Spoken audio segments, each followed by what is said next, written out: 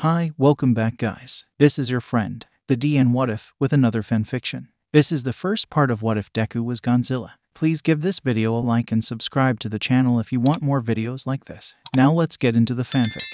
Cold, that's all he felt. Darkness was all he saw. But in that darkness, something stirred, and a voice cried out to him Wake up. A pair of blood red eyes snapped open, quickly darting around and observing the surroundings. He was in some kind of yellow liquid, with strange metal objects connecting to him, somehow piercing his skin. Wait, his blood red eyes widened in shock as he held up his hands in front of him, looking over them with wide eyes. Why do I have hands? No, wait, how do I have hands? Where am I? He looked around in panic and anger, searching for signs of who was responsible. The last thing he remembered was entering a short hibernation, only a couple hundred years at best. Yet now here he was, wherever here is, taking deep breaths. He calmed himself, something his queen had taught him to do whenever he was caught off guard or found himself in a bizarre situation that he couldn't explain. While it only really helped protect whoever was responsible for his distress, it certainly helped keep the queen off his tail, turning his red eyes to his body. He looked over himself, and with a scowl, he confirmed his worst suspicions. He was indeed a small, bald ape. However, even as he looked at himself, he felt a sense of relief as he saw that his body still retained traces of his kaiju form. His tail remained black scales and all, his forearms, despite his earlier panic, while more human in appearance and structure, were still covered in his black scales, and his neck shared the same, he also kept his gills. However, his dorsal plates, save for those on his tail, were completely gone, and so were the rest of his scales. And keeping in the human tradition, his waist and legs were covered in thin black material, not unlike his queen's silk. With his new condition confirmed, he felt his confusion quickly turning into burning rage. How dare those insignificant pests? I will see them all burn reaching up to the metal contraption covering his snout. And mouth, he remembered the humans called it, he tore it off in a single movement. Almost immediately, alarms blared in his ears, and red lights spun and shine outside his cage. But he didn't care. Using his arms, he tore through the metal contraptions that were connected to him, before with one hand, smashing through the clear material, glass, in front of him. As the yellow liquid drained from the glass cage, he growled and left the cage. The first thing he realized was that the ground was cold and smooth far too much for his liking. The next thing he realized was that the world felt different, alien in a way, but familiar just the same. I need to return to my territory. There I can make sense of this place. Looking around, he seemed to be in some kind of metal box, similar to what the humans stored their resources and food within, which meant the walls were made of thin metal, easily breakable. Without a second's hesitation, he charged through the walls, the metal easily breaking as he barreled through them. Later, as he trekked through the forest, a low growl escaped through his lips. While I seem to be in Japan, the entire world seems to be different. Older, alien almost. There's no trace of other titans. The ape's former home is gone, and the world below the world is gone, replaced by a solid core of fire and iron. At least the veins below the world still remain. There is no way around it. I am no longer home. As the words flickered through his mind, he released a louder growl and broke a nearby tree in half with his tail. He was stranded in another world, trapped inside a bald monkey, with no idea how he got here or how to get home. While he could always seek out the local alpha, it seemed that several of the locals were quickly approaching him. You, halt. He looked up with a blank face to the source of the voice. It was definitely human and from the sounds of it a human female. Probably, he had been tricked too many times by what JR had called traps on anime, and had thus lost nearly all certainty when gender was concerned with the humans. However, it would seem that the voice was definitely female in origin, as a dark skinned, long haired female jumped down in front of him. She was short, around half his height. Her body was well built, strong, and defined unlike what most other human females had. Her eyes, like his, were completely red, a rarity in the human species. She seemed to have a white and brown tone, as well her skin was dark, her clothes, hair, and ears were white. Wait, are those rabbit ears? He thought in surprise, his mind doing a double take as he inspected the female's body. Yep, she was definitely half rabbit. She had the ears and small fluffy tail to match, although she was wearing fake rabbit feet. Also, her clothing was rather revealing. But he wasn't one to judge. He walked around buck nude most of the time and had the displeasure of seeing the humans wear far less. Who are you, and why are you here? The female asked, and he merely growled in response. A human had no place demanding to know who he was or why he was here. But much to his disdain, he would need to cooperate to find his way home even though this planet seemed to be just as polluted as his own. Who are you? he asked, his voice gravelly and roughly 50x deeper than the female's in front of him. This caught the female off guard. Who am I? I'm Mirko, she said, sounding offended. And apparently, she was much more famous than he thought since when he didn't react, she continued to speak. The bunny hero. I'm in the top seven of Japan. She continued, but all she got was a raised brow. Sure, whatever, he muttered, and deciding he didn't want to deal with the midget, attempted to walk past her, only for her to stomp on his tail, making him pause as he looked back at her. Get off, he growled, sending the human a death glare. When she didn't move, he bared his teeth. Unless you want me to break your pathetic spine, get off, he yelled, throwing her off his tail and into the nearby trees in a swift movement. Snorting, he turned around to leave when he felt something kick him in the back and he stumbled, falling to a knee in surprise as he looked back to see the woman completely unharmed. An excited grin on her face as she bounced from one leg to the other. Surprised you didn't go flying from that love tap. Maybe you'll be a decent warm up, lizard guy. How the hell did she move me? No human, hybrid or otherwise, should be capable of moving me, much less with a single blow. He growled in response, a warm up. It seems the bug doesn't know her place. The human chuckled as she raised her hands, we'll see, and charged at him with surprising speed. Jumping above him, the woman raised her right leg before shouting, Luna fall, and bringing the limb down at him. However, raising his tail, he easily blocked the strike and looked at the woman with a bored expression as her eyes widened. See what? He taunted, before flicking his tail and sending the woman flying over the tree's canopy. With a scoff, he turned around and went to leave. Don't ignore me, bastard. This time the kick was much more powerful, but unlike before, he didn't stumble and merely turned around to face the white haired woman, who was seething with rage. You want to tussle? Let's tussle, she yelled, rushing at him, becoming a blur of white and brown as she did. Um, interesting. Not only does she possess superior strength and speed to normal humans, but far greater durability. He observed as she again yelled, Luna Arc, and launched a kick at him. Stumbling back and grunting at the impact, he grabbed the woman's leg with his tail, lifted her up, and spun her around above his head, before once again throwing her away. You cannot match me, Bug. Accept your defeat, he said. But much to his surprise, the woman got up again, a grin still clear on her face. You say that, but you haven't even managed to hurt me, and I've managed to land two hits on you. His right eye twitched as he realized that she was indeed right. He hadn't harmed the human, while she had managed to strike him twice. That was going to change. Growling, he said, Come at me again, and I will show you the might of a kaiju. The woman scoffed, Yeah, we'll see, and charged at him once again. This time, she didn't yell out any words, and instead opted for punches and kicks. Grunting at the blows, he snarled as he swiped at the woman, who easily dodged and punched him again below the arm. Who taught you how to fight? A baby, the woman taunted. Angrily, he swiped at the woman again, but she evaded his attack easily and kicked him in the stomach. You're all brawn, no brains. This is almost too easy, the woman said. It won't easy? I'll give you fucking easy. Acting quickly. He grabbed the woman's leg with his claws before lifting her up and smashing her into the ground. Once, twice, three times. Then, with a yell, he threw her into the nearest tree with enough force that the tree broke in half and she fell to the ground.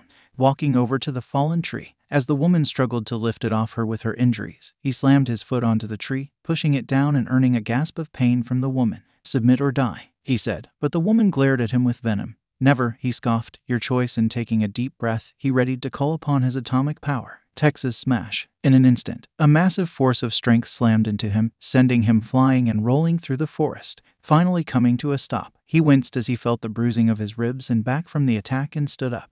What the fuck was that? Glaring at the direction of the woman, he growled as a second figure appeared. He was tall, maybe even taller than him, and he was definitely muscular, far more muscular than him. Unlike the woman, he wore a complete and somewhat dignified outfit, albeit far too colorful for his liking. His hair was golden and had two strands sticking up above his head. Despite his muscular frame, however, his eyes were sunken, confusing him. Perhaps this man had some kind of medical condition. But most infuriatingly of all, a large smile bore on the stranger's face, like he was happy that he had just struck him. Thanks, All Might, the woman said reluctantly to the new figure, who just laughed in response. You can thank me later, Mirko. First, let's capture this villain. The blonde then turned to face him and pointed a finger at him. Hear that? Your days of tyranny and prejudice are over, villain. This man seemed to only have one volume. Loud. And you are, he called out to the newcomer, making both him and the woman freeze. Who am I? Why, I am the symbol of peace, Japan's number one hero. All Might. Great. More obnoxious heroes with stupidly obnoxious names. What the hell were the mothers of this world thinking? Naming their kids things like Mirko and All Might. Next thing you knew, there'd be some kid calling themselves King Explosion Murder or some crap. Yet as he readied to fight the duo, a small flare of pain in his side caught his attention. This, All Might, had managed to harm him with his bare hands, it seemed. That made him dangerous, and that made him a challenge. And who are you, villain? What is your name? All Might asked, causing him to stop. Humans gave each other names to distinguish them. He had never needed a name. He was the last of his kind after all. And the king of all kaiju, it was pretty obvious when someone talked about him, yet he was in a different place in human flesh. No, he would have to name himself. I am Gojira, he answered, and All Might laughed. Very well, Gojira. You are under arrest for the assault of a hero and threat. I advise you come quietly. As All Might shouted the last words, he shot towards him even faster than the rabbit woman had, releasing a small shockwave as he did. Mirko, try as she might. Mirko couldn't help the frown that grew across her face as All Might charged at Gojira. Great, saved by the number one from a villain that no one's heard of. I don't even get to beat the bastard up myself. Hey, at least he'll get his ass handed to him by All Might. But when All Might threw his first punch towards the villain, Mirko's beliefs were thrown out the window because Gajira grabbed All Might's fist with one hand and a grunt. You are strong, All Might, but as Gajira spoke, All Might brought back his left fist and yelled, Detroit Smash, as he punched Gajira point blank in the face, sending the villain flying back, tumbling and crashing through the forest, earth, and stone, leaving a massive trail. A tad overkill, but who am I to talk? All Might's fucking tough. Wincing from her wounds, broken ribs, and sprained legs, she limped over to All Might's side. That was meant to be me. She grumbled, and All Might laughed. Very well, Mirko. Next time I'll let you defeat the villain. But as she rolled her eyes, she saw something at the end of the trail caused by All Might, something moving in the dust. No fucking way, she muttered, her eyes widening. All Might frowned but turned his attention to where she was looking, and she heard a sharp intake of breath come from the hero. A faint blue light could be seen pulsing from within the dust. And with each blue pulse, with each soft hum, a figure was illuminated, standing, his tail producing the light as it slowly waved behind him, the hum slowly growing louder as the light became brighter. Using his tail, Gojira swept away the dust, several bruises covering his body, and a furious glow in his red eyes. A single blue light began to flicker on Gojira's back. And as his eyes began to glow blue, he opened his mouth in a snarl, revealing that the inside of his throat glowed the same blue as his tail, back, and eyes. A feeling of dread filled Mirko. Her animal instincts screamed at her to run, and they screamed at her three words danger, run, survive. Then all hell broke loose as a blue beam of fiery energy erupted from Gojira's jaw and quickly shot towards them. Her eyes widened with fear as she tried to move, but she couldn't and only stood paralyzed as the beam shot towards her in all might.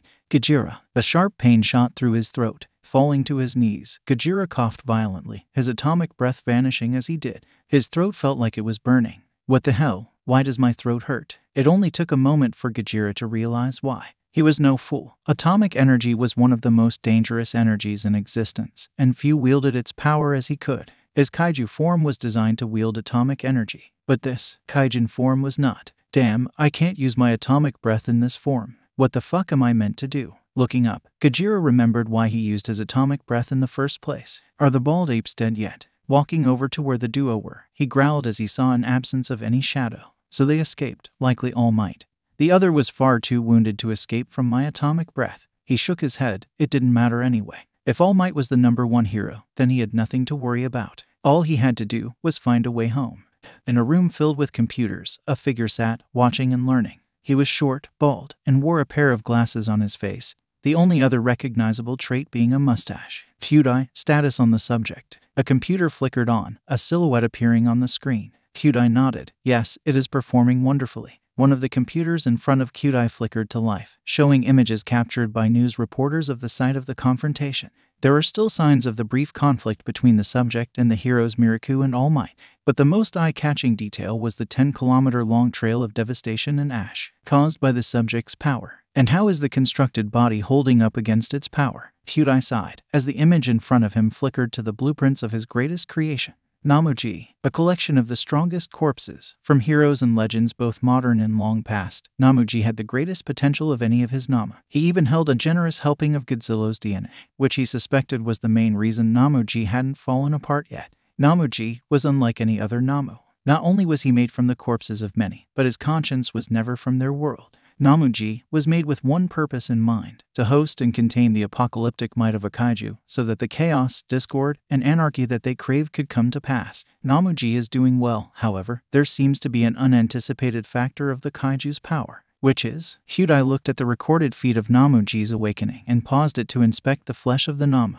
His flesh has been completely restored. There are no signs of stitching or deceased parts. He is, by all accounts, completely alive. In fact, he has even evolved slightly. The Kaijin traits were grown completely independently. When Namuji had first been finished, He appeared more monstrous than any of his other Nomu, a terror made flesh, a demon some would have called him. This was purposeful, as a horrendous appearance would cause more hostility towards the Nomu and have a greater impact. But now, Namuji had no traces of his Nomu origins, as stated before, looked completely human. As human as a kaijin could look at least. Hum, this is interesting. I had heard that the kaiju had powerful healing abilities. Perhaps that is the cause. Namuji will operate alone. We need not manipulate him directly, lest he turns his fury upon us. We will focus on our other plans for now. But keep in mind, should Namuji prove to be defective, you will need more Nomu to deal with him. Kyudai nodded as the silhouette vanished. And the communicator died. I will, oh I will. Aizawa, I am here, entering the room like a hero. Aizawa sighed in annoyance as All Might ran into the room like a buffin. It was bad enough that Nezu had called a staff meeting, but it was much worse with the symbol of peace's unnecessary enthusiasm. Why are we here, Nezu? I have classes to teach. Aizawa groaned, making the little rodent clap his paws in excitement. Certainly, Aizawa, but first, oh All Might, could you take a seat? Aizawa scoffed as he heard a yelp of surprise from the number one, shortly followed by a scraping of chairs as he sat down. After a moment, Nezu brought out a remote, and with a press of a button, a live news feed of a nearby forest flickered to life. Aizawa recognized the scene. Earlier today, All Might had confronted a villain with a destructive quirk that allowed him to shoot lasers from his mouth. But he hadn't needed to hear much more than that. It was clear with All Might standing next to him who had won, and who had ended up in the slammer, even if the news had stated the villain had been captured. I take it are all familiar with this scene. Nezu asked, and almost in unison all the staff nodded, with his Hizashi, otherwise known as Present Mike, being the only to voice their thoughts. Yeah, All Might had a brawl with some low-time villain and get thrown in the slammer as a result. Aizawa rolled his eyes, but loath as he was to admit, he doubted there was anything else. But much to his surprise, Nezu shook his head. Actually, no, he didn't. Silence fell through the room as all the heroes stared at Nezu, then at All Might. What are you saying? The villain got away. Why's that gotta be hidden from the people? Not the first time. Nemuri, Aka Midnight, asked. Nezu sighed, shaking his head, before clicking a button, and the news feed changed to two images of a hospitalized Mirko, with the words before and after labeled on them.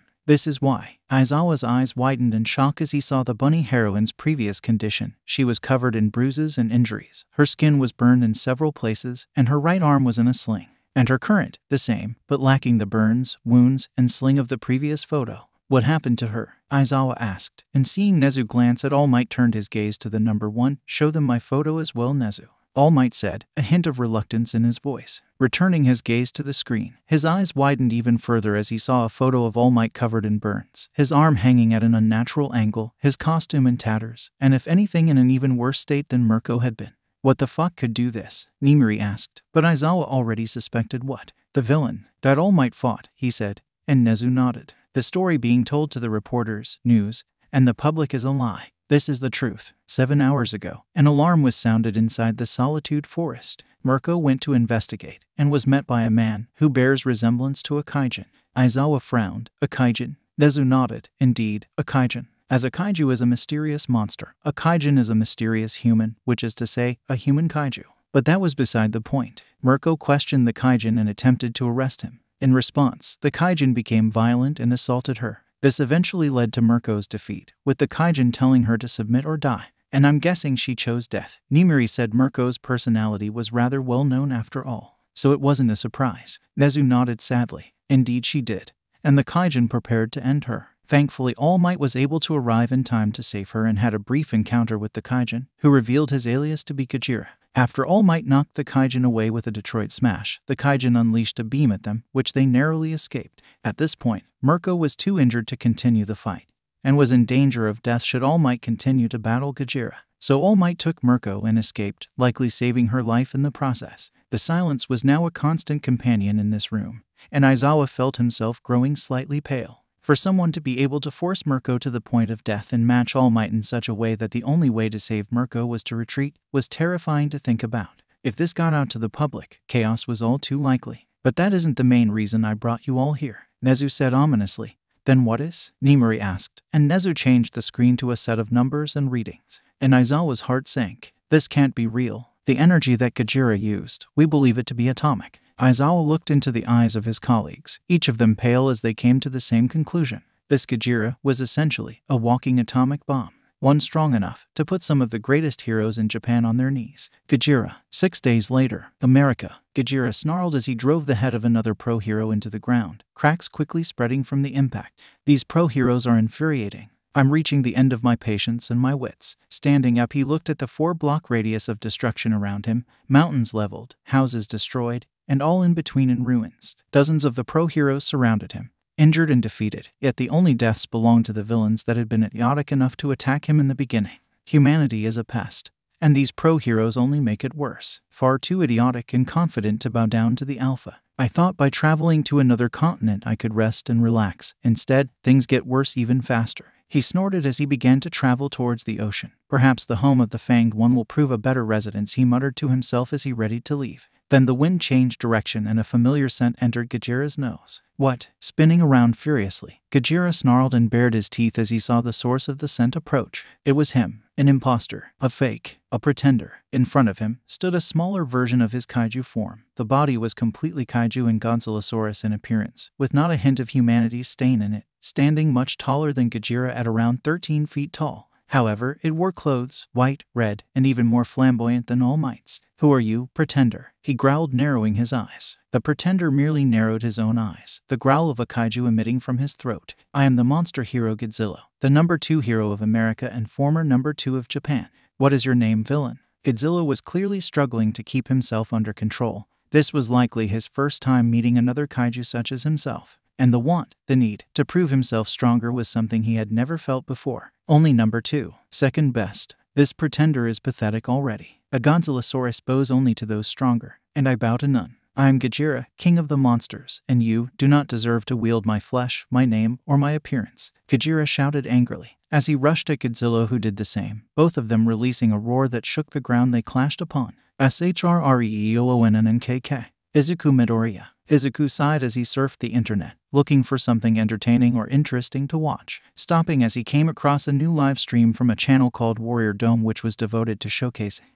unedited live battles between heroes and villains. They usually had several streams active at once and had more than 20 million subscribers. However, it was the name of this new stream that made him pause. Rise of Gajira. Who's that? Izuku wondered as he started the live stream. The first thing that Izuku saw was complete destruction. Everything around was obliterated and in ruins. That's America, Izuku realized, seeing the location in the top right corner of the screen. S H R R E E O O N N N K K.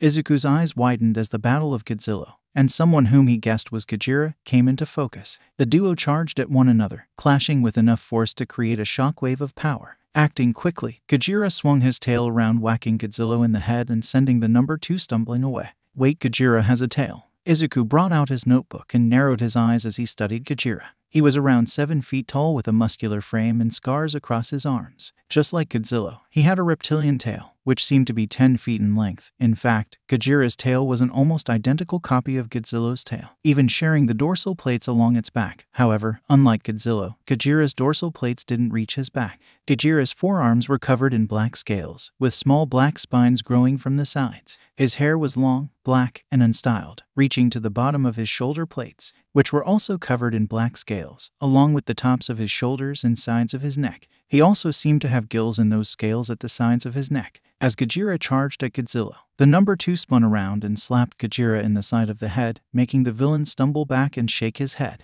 Godzilla pressed on his advantage and rushed at Gajira, barreling into the villain's stomach and picking him up. With a roar of rage, Gajira brought his right elbow down into Godzilla's back, and the number two crumbled to the ground. However, the monster hero recovered quickly and attempted to sweep Gajira's feet out from under him, but Gajira leaped away, avoiding it. Pathetic. You fight like a newborn. Gajira taunted as Godzilla snarled, and you fight like an animal. Gajira narrowed his eyes and again charged towards Godzilla who took a wide fighting stance and braced himself for the impact as Gajira collided with him. Acting quickly, Godzilla allowed the force of Gajira to pass over him and spun around, kicking Gajira's feet out from under him, who released a short, angry yelp of surprise as he hit the ground. Moving quickly, Godzilla slammed his tail into Gajira's head, a shockwave erupting from the impact, knocking Gajira out cold. Then, in his trademark style, Godzilla placed his right foot on Gajira's chest and roared to the heavens. S H R E E O O N N N K K K. Izuku sighed in relief. He had started to get worried. And as the live stream began to switch off, Izuku, nor anyone else, noticed the blue wisps that were rising from Gajira's forearms. Gajira, S-H-R-E-O-O-N-N-K-K-K. Gajira awoke in an instant, his eyes snapping open as the roar of Godzilla rang in his ears. The next moment, Gajira realized what was happening. Godzilla was claiming victory. And the next, rage filled him like a rush of adrenaline, boiling his blood and filling him with a primal strength. Summoning his atomic energy, Gajira narrowed his eyes as Godzilla looked down at him, surprise quickly covering his face. Then, with a roar, Gajira tossed Godzilla off him, a shockwave of atomic energy exploding around them as he did. Getting to his feet, Gajira snarled at Godzilla as his atomic energy emitted from his kaijin parts. How dare you! Gajira snarled as he began to walk towards Godzilla. Before charging at Godzilla, the wind alone pushing the monster hero back, I have thought bigger. I have killed worse. You are nothing. With every word, Gajira slammed his fists into Godzilla, blue shockwaves of fiery atomic energy exploding around them with every blow. Gajira's eyes glowed the same color as his atomic energy as he picked up Godzilla by the throat and filled his lungs with atomic energy. But before he could destroy the impostor, a voice, young and desperate, crying out from afar, Dad, no. Swinging his head, Gajira saw a young hybrid running towards them. They had the dorsal plates and tail of Godzilla, yet lacked the scales everywhere else. With a start, Gajira realized who he was looking at JR. JR, run, Godzilla yelled, barely able to speak or even breathe, as he struggled to free himself from Gajira's grip. Yet, Gajira didn't notice, didn't respond. All he could do was stare at JR, frozen in place as realization crashed down upon him. In a moment, he saw himself from JR's perspective a villain, a destructive force of evil, about to take away whom he loved, and it all came crashing down. He was just like them just like Ghidorah, Kaiser, Destroyer, and all those whom he had fought. No, I won't become them. I will not orphan a child. Dropping Godzilla, Gajira fell to his knees, pride, rage, sorrow, and regret warring within him. He had killed few since coming, a mercy he didn't recognize welling up within him whenever the heroes laid at his feet, a mercy he had only felt when he had defeated those he would now call his allies and even his friends. What good does that promise do? How many have I already orphaned? In the eyes of how many have I become a villain? Gajira looked up and watched as JR ran between him and Godzilla, spreading his arms to either side and baring his teeth. Stay away from my dad, JR shouted. What have I become? No, now was not the time to question oneself. Gajira shook his head and stood up. Light bruises all that hindered him as he walked towards the heavily injured Godzilla, but stopped as JR snarled, holding up his hands in a peace treaty.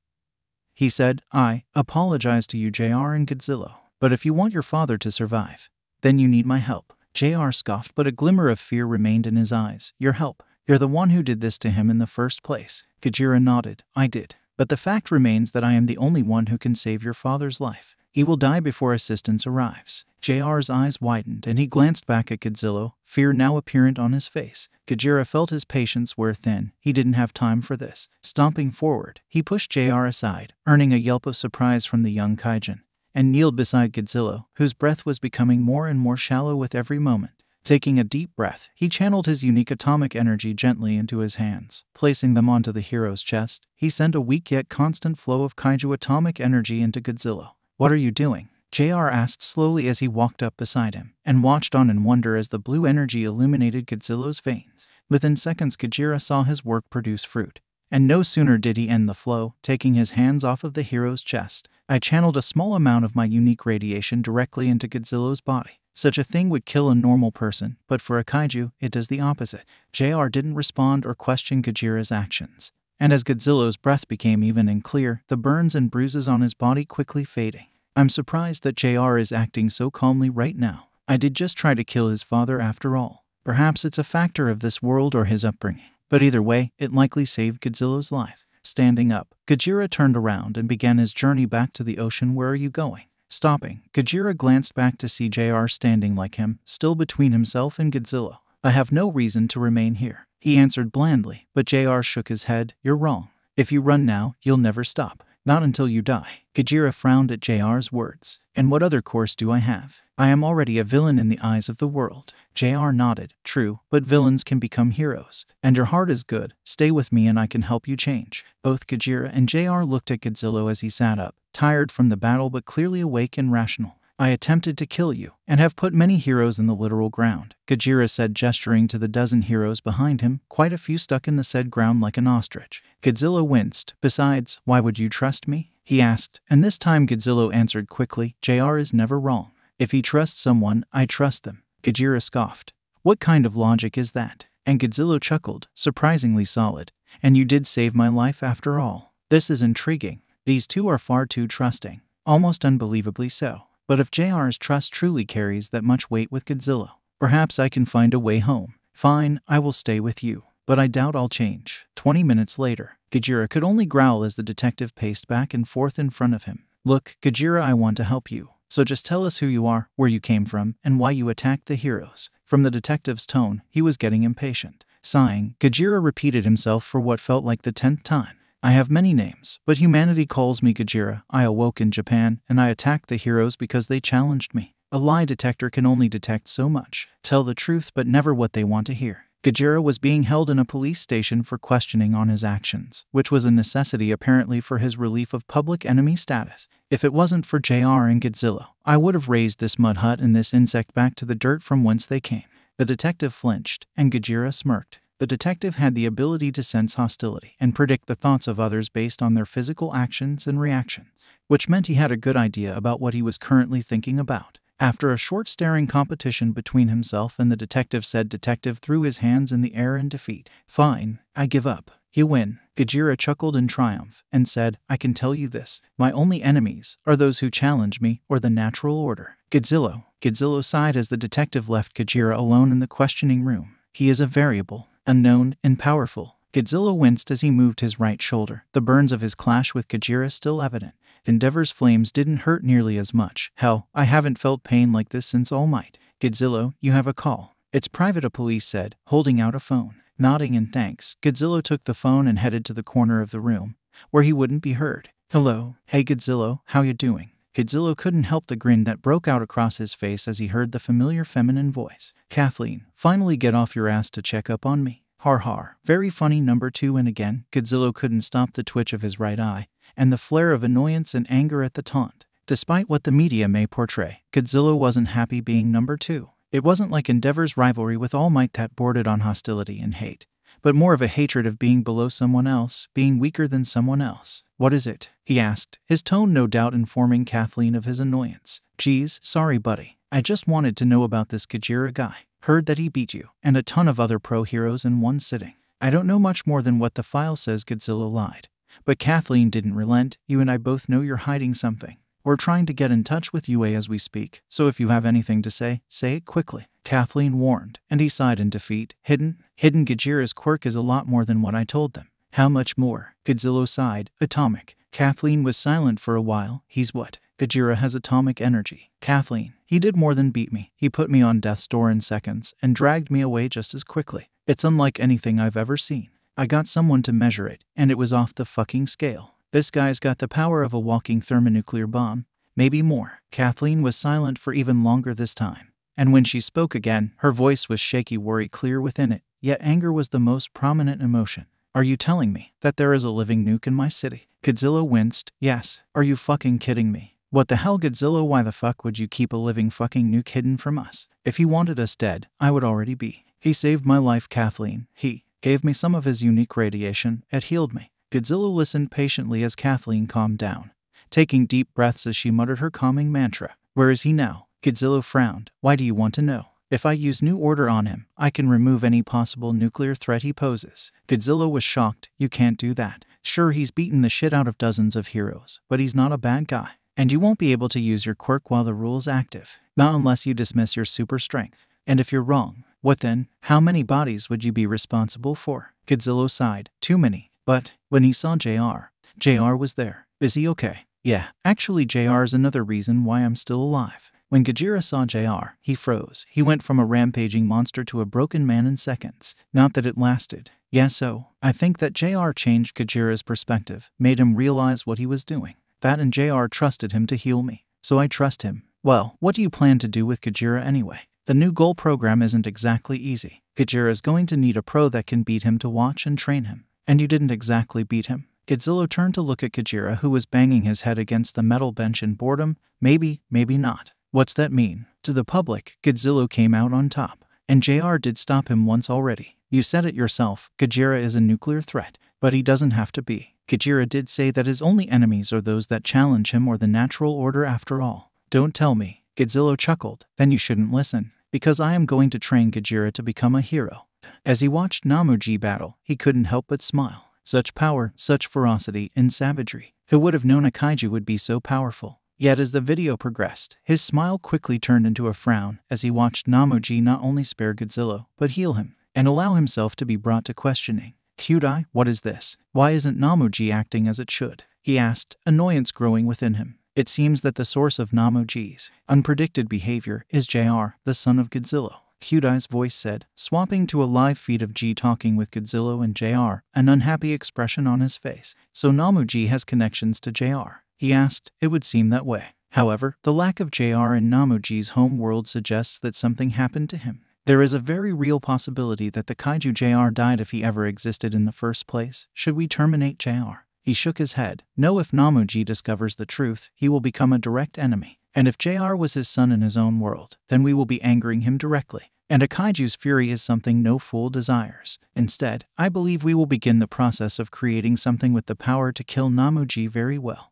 Which body should I begin? He chuckled, remembering one particular Nomu. That proved the most deadly of all. Begin work on Nomu Zero very well. Master the video feed cut off and he chuckled as he leaned back. Soon, my plan will begin. And the world will become mine once more, even if I have to share it. Gajira, day one of the new goals program. Gajira frowned at the garments in front of him, what are these? He asked as he held them up. They were similar to the clothes that he had seen civilians wear, but different as well. There was a black pair of jeans that had a hole in the back for his tail, a pair of black boots and socks, and a black singlet with what appeared to be his kaiju form moving in a spiral. They're your hero outfit, for now at least. Strong, sturdy, and they can actually withstand your atomic energy, Godzilla said, his own hero outfit already donned. And the symbol? He asked, and Godzilla frowned. It's the same thing that's on your back. Gajira frowned. Huh. Rolling his eyes, Godzilla brought out a mirror and using its reflection showed the exact same symbol on his own back. Strange, Gajira muttered. It doesn't matter right now. Just get changed. We're going out on patrol. As Godzilla headed for the door, he looked back and said, Oh, and try to behave today. Twelve minutes later. Why? Gajira asked, confused and slightly annoyed as he held the thief over the edge of the bridge with his tail.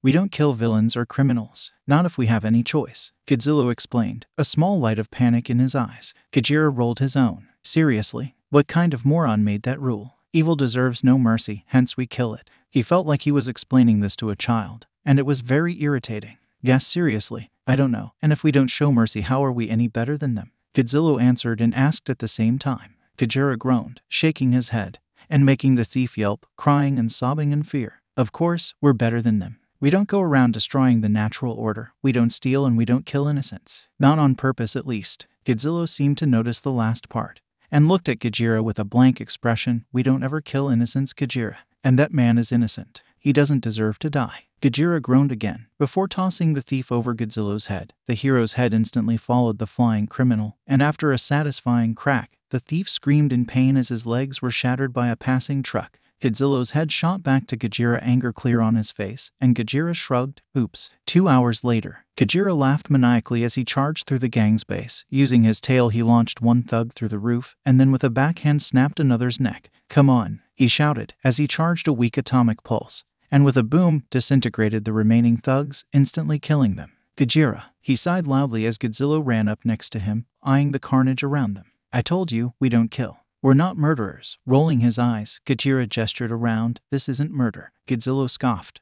Then what is it? Looking at the hero, Gajira smirked evilly, collateral damage, and then proceeded to walk past the shocked hero, towards the street. Hurry up. Wouldn't want more collateral, would you? Twenty minutes later, his left eye twitched constantly as annoyance and boiling anger rose quickly within him. Godzilla, can we get a comment? Why are you working with Gajira? What is your connection to Gajira? What's Gajira's quirk? What happened in there? Is Gajira a danger to us? Flashes of light and constant voices from the reporters serve to quickly get on his nerves. If this continues, I'm about to make them all collateral. Godzilla held up his hands. The battle with Gajira was a large misunderstanding. He had negative experiences with pro heroes in the past and was attacked by them as such. Gajira's quirk is listed as Kaijin in the database, and he is currently undergoing the new goals program in an attempt to continue his goals of defending the natural order. That is all. Godzilla then unleashed a mighty roar and slammed his tail into the ground, which kicked up a massive amount of dust. Once it cleared, it revealed that Godzilla was gone. He wasn't. Fucking bastard abandoned me. As the reporters turned their attention to Gajira, he looked around, saw a building, and leaped to it before climbing up its side by creating handholds with his claws. Forty minutes later, Gajira scowled, anger mounting as he roamed around the streets of America. Ever since Godzilla had made his flashy exit, he hadn't been able to find the monster hero, and as such, he was now lost in the city. I swear I'm going to make sushi out of him. Mommy, where are you? Gajira stopped and glanced at the source of the voice. Standing there, at the side of the street, was a young white girl no older than five, sitting down hugging her knees, with short snow white hair, and a pair of equally white feathered wings sprouting from her back covering her like a shield. She wore a pair of yellow shorts and a white t shirt. His gaze softening, Gajira walked over to the girl, crossing the busy road as he did. Finally, as he reached her, he kneeled down to look her in the eye, before speaking in as soft a voice as he could manage. Hello there. The girl looked up in mild surprise, and her eyes quickly widened at him. Ere she stuttered, Gajira slowly reached out his right hand. Humans are fragile, especially the children, so be slow, gentle, and calm when interacting with them. Remember that Gajira. Recalling Godzilla's words, and his own children, Gajira nodded slightly. Take my hand. I can help you find your mother. The girl hesitated, but finally took his hand in her own,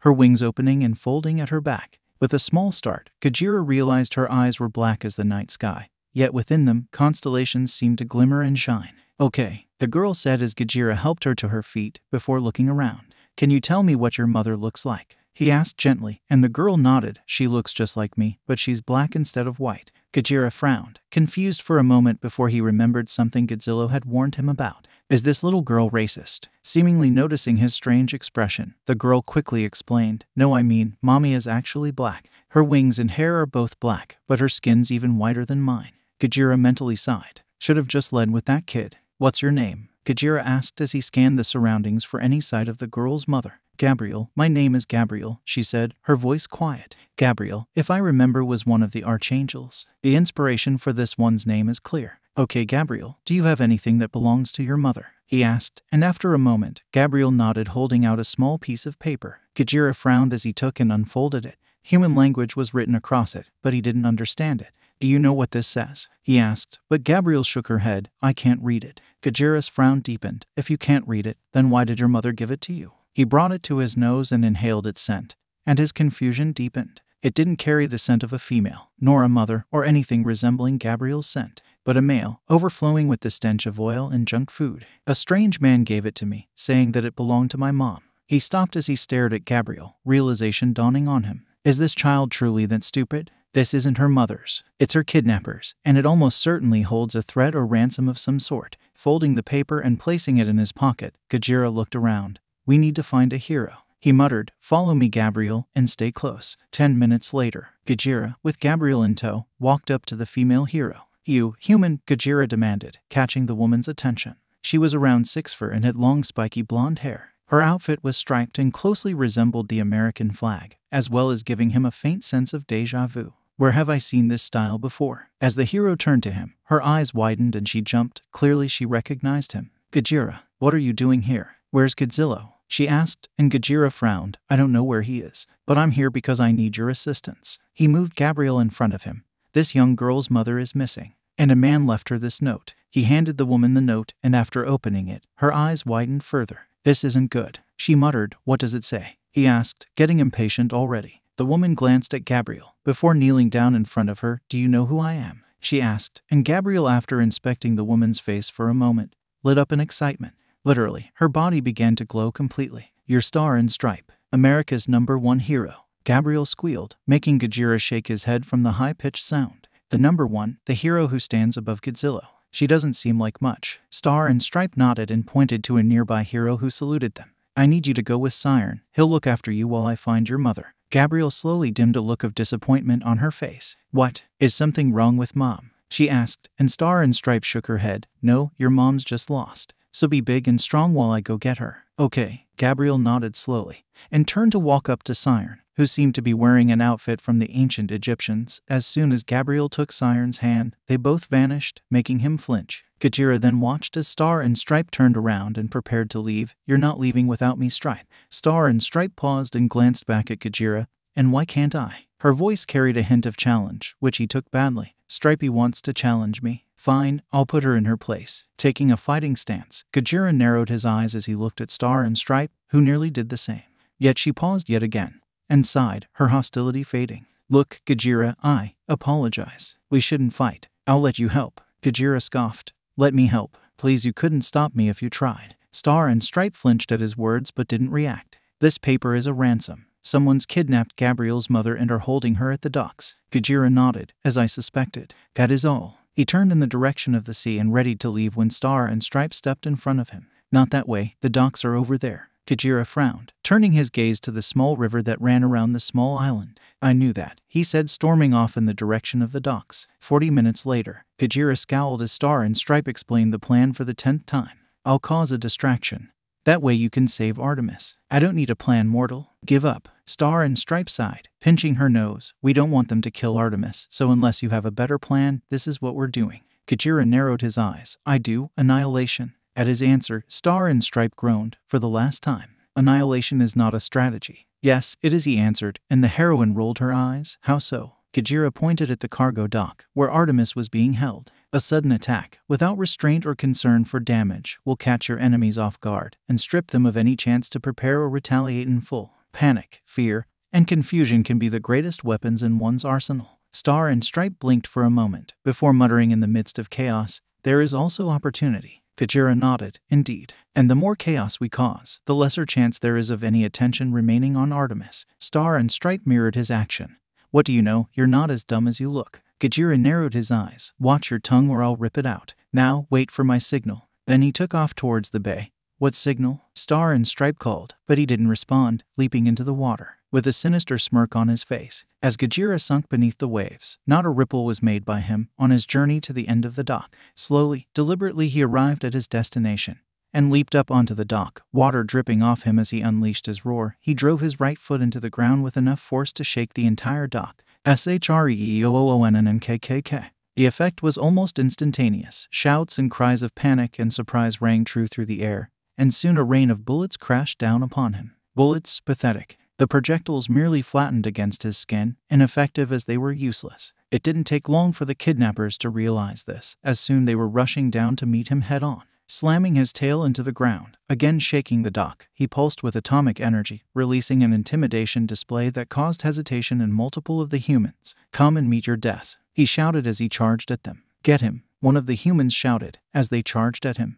Meeting the humans with a burst of power, Gajira instantly killed several of the closest among them, their corpses becoming charred and one even being completely disintegrated.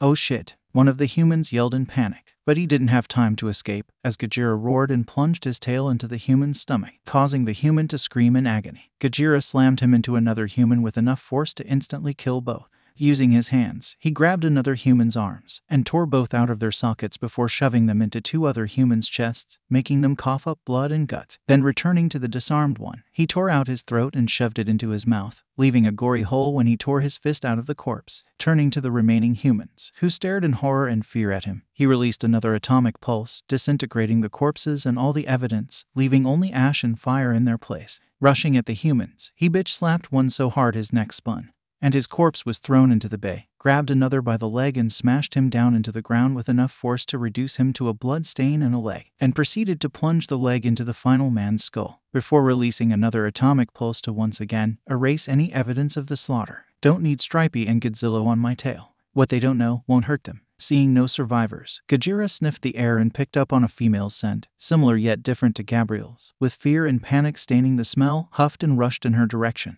finally coming across a guarded, and chain metal crate, Gajira scoffed as the two guards pointed in his direction two guns. They never learn. But before he could react, two missiles rocketed in his direction, exploding in his face and sending him flying back. Bitches, crashing into a storage crate. Gajira grunted as he felt the force of impact crash into him. Now he was pissed, growling as he stepped out of the hole he had created in the crate's side. He turned around, picked up the crate, and tossed it at the two guards, who screamed in shock and barely avoided being crushed by the crate but they only ended up rolling right into his grasp, as with a swift movement, he plunged his claws into their spines and tore them clean out, instantly killing both of them. After another atomic pulse, he walked over to the crate's chains, tearing them off easily. He ripped the doors off their hinges and tossed them behind him, revealing an unconscious woman trapped inside. The first thing he noticed was the four large black feathered wings that sprouted from her back, two large ones and two smaller ones directly below them. With a curvaceous body, which would no doubt turn many human heads, her long black hair was smooth and flowing, likely reaching down to her waist when she stood. Her skin was a pearl white, yet it shimmered black in certain places. Surprisingly, she wore a hero's outfit, a pitch black leotard covering her chest, black thigh highs, long black gloves, and armored heels. Armor was apparent on all of her clothes, not just her heels, giving the outfit a more battle ready appearance. And a constant across the entire outfit, stars were displayed in a constellation pattern. How peculiar. Artemis seems to be a hero. Gajira, did you find her? Gajira looked behind him as Star and Stripe appeared. And as her eyes flickered to the unconscious form of Artemis, they widened. Nyx, she asked, pushing past Gajira and promptly ignoring his warning growl. She walked up beside Artemis. Nyx, I thought her name was Artemis. Who is this Nyx? He asked curiously. Nyx is a hero like me, the number five in America. No one knows who she is, since she kept her identity a secret from most. Until now. Gajira raised an eyebrow as he inspected the heroine. Is Artemis' secret persona, although how she remains hidden without any kind of face covering is beyond me. Not to mention the wings. If she was the number 5 heroine, then the power of you heroes must decline quickly as your number descends. He scoffed, yet Star and Stripe glared at him. Nyx isn't a physical fighter like Godzilla and me. Her quirk is called Eternal Night. It lets her create and manipulate shadow and darkness alike. Gajira pointed at her wings. And how did she keep herself hidden with the wings? Star and Stripe shrugged. There are a lot of people with animal mutations in America, so it wouldn't have been hard. Gajira rolled his eyes. Well, we found her. Let's take her back to Gabriel and be done. Star and Stripe nodded, and picking up Nyx, she followed Gajira out of the crate. Oh, I forgot. Gajira. Gajira rolled his eyes as he looked at Star and Stripe. What? She pointed to the rest of the dock. What happened to the rest of the kidnappers? Gajira chose not to answer that one with anything else but a shrug. Three hours later, where have you been? Godzilla shouted as Gajira narrowed his eyes. They were in the hospital where Artemis was being treated for her injuries. Star and Stripe had left to get Gabriel, and Gajira was left alone to wait for Godzilla to arrive. After your little vanishing act, I couldn't find you again. So I wandered around, found a little girl. She gave me a note, found Stripey, and saved her mother from kidnappers. Happy, Gajira growled, making Godzilla hesitate. Did you hurt anybody? Godzilla asked, and Gajira nodded. I haven't caused a single injury. I created several, on multiple occasions, on numerous would be corpses. Godzilla sighed in relief. That's good to hear. Good job, Gajira. Gajira nodded, smirking. Yes, good job, me. So how's the mother? Godzilla asked, and Gajira shrugged, pointing with his tail towards the room in which the heroine was currently resting in. In there, unconscious last I checked, Gajira said, which was a blatant lie. Artemis had woken up a minute ago. He just didn't care to talk to her. Godzilla raised an eyebrow and walked towards Artemis' room, opening it and revealing the heroine awake in all her glory and definitely confused and irritated. However, those emotions vanished once she saw them. Godzilla, what are you doing here? And who's that next to you? She asked, frowning at Gajira who frowned in response. Artemis' voice was laced with a royalty and tone he had only ever felt from the winged one herself, soft and kind, a masterfully hidden confidence and power masked underneath, only known to the few who had experienced even a tenth of what he had. A voice like this could easily change, becoming authoritative and powerful. It solves her voice, but the face is still a mystery. Oh well, doesn't matter. This is Gajira. He's undergoing the new goals system since we fought a while back. Artemis raised an eyebrow, and Gajira narrowed his eyes as he saw Artemis, the polar opposite of Gabriel's. Hers glowed with light like the sun. So you want to be a hero. You got what it takes. Gajira nodded, and Artemis continued.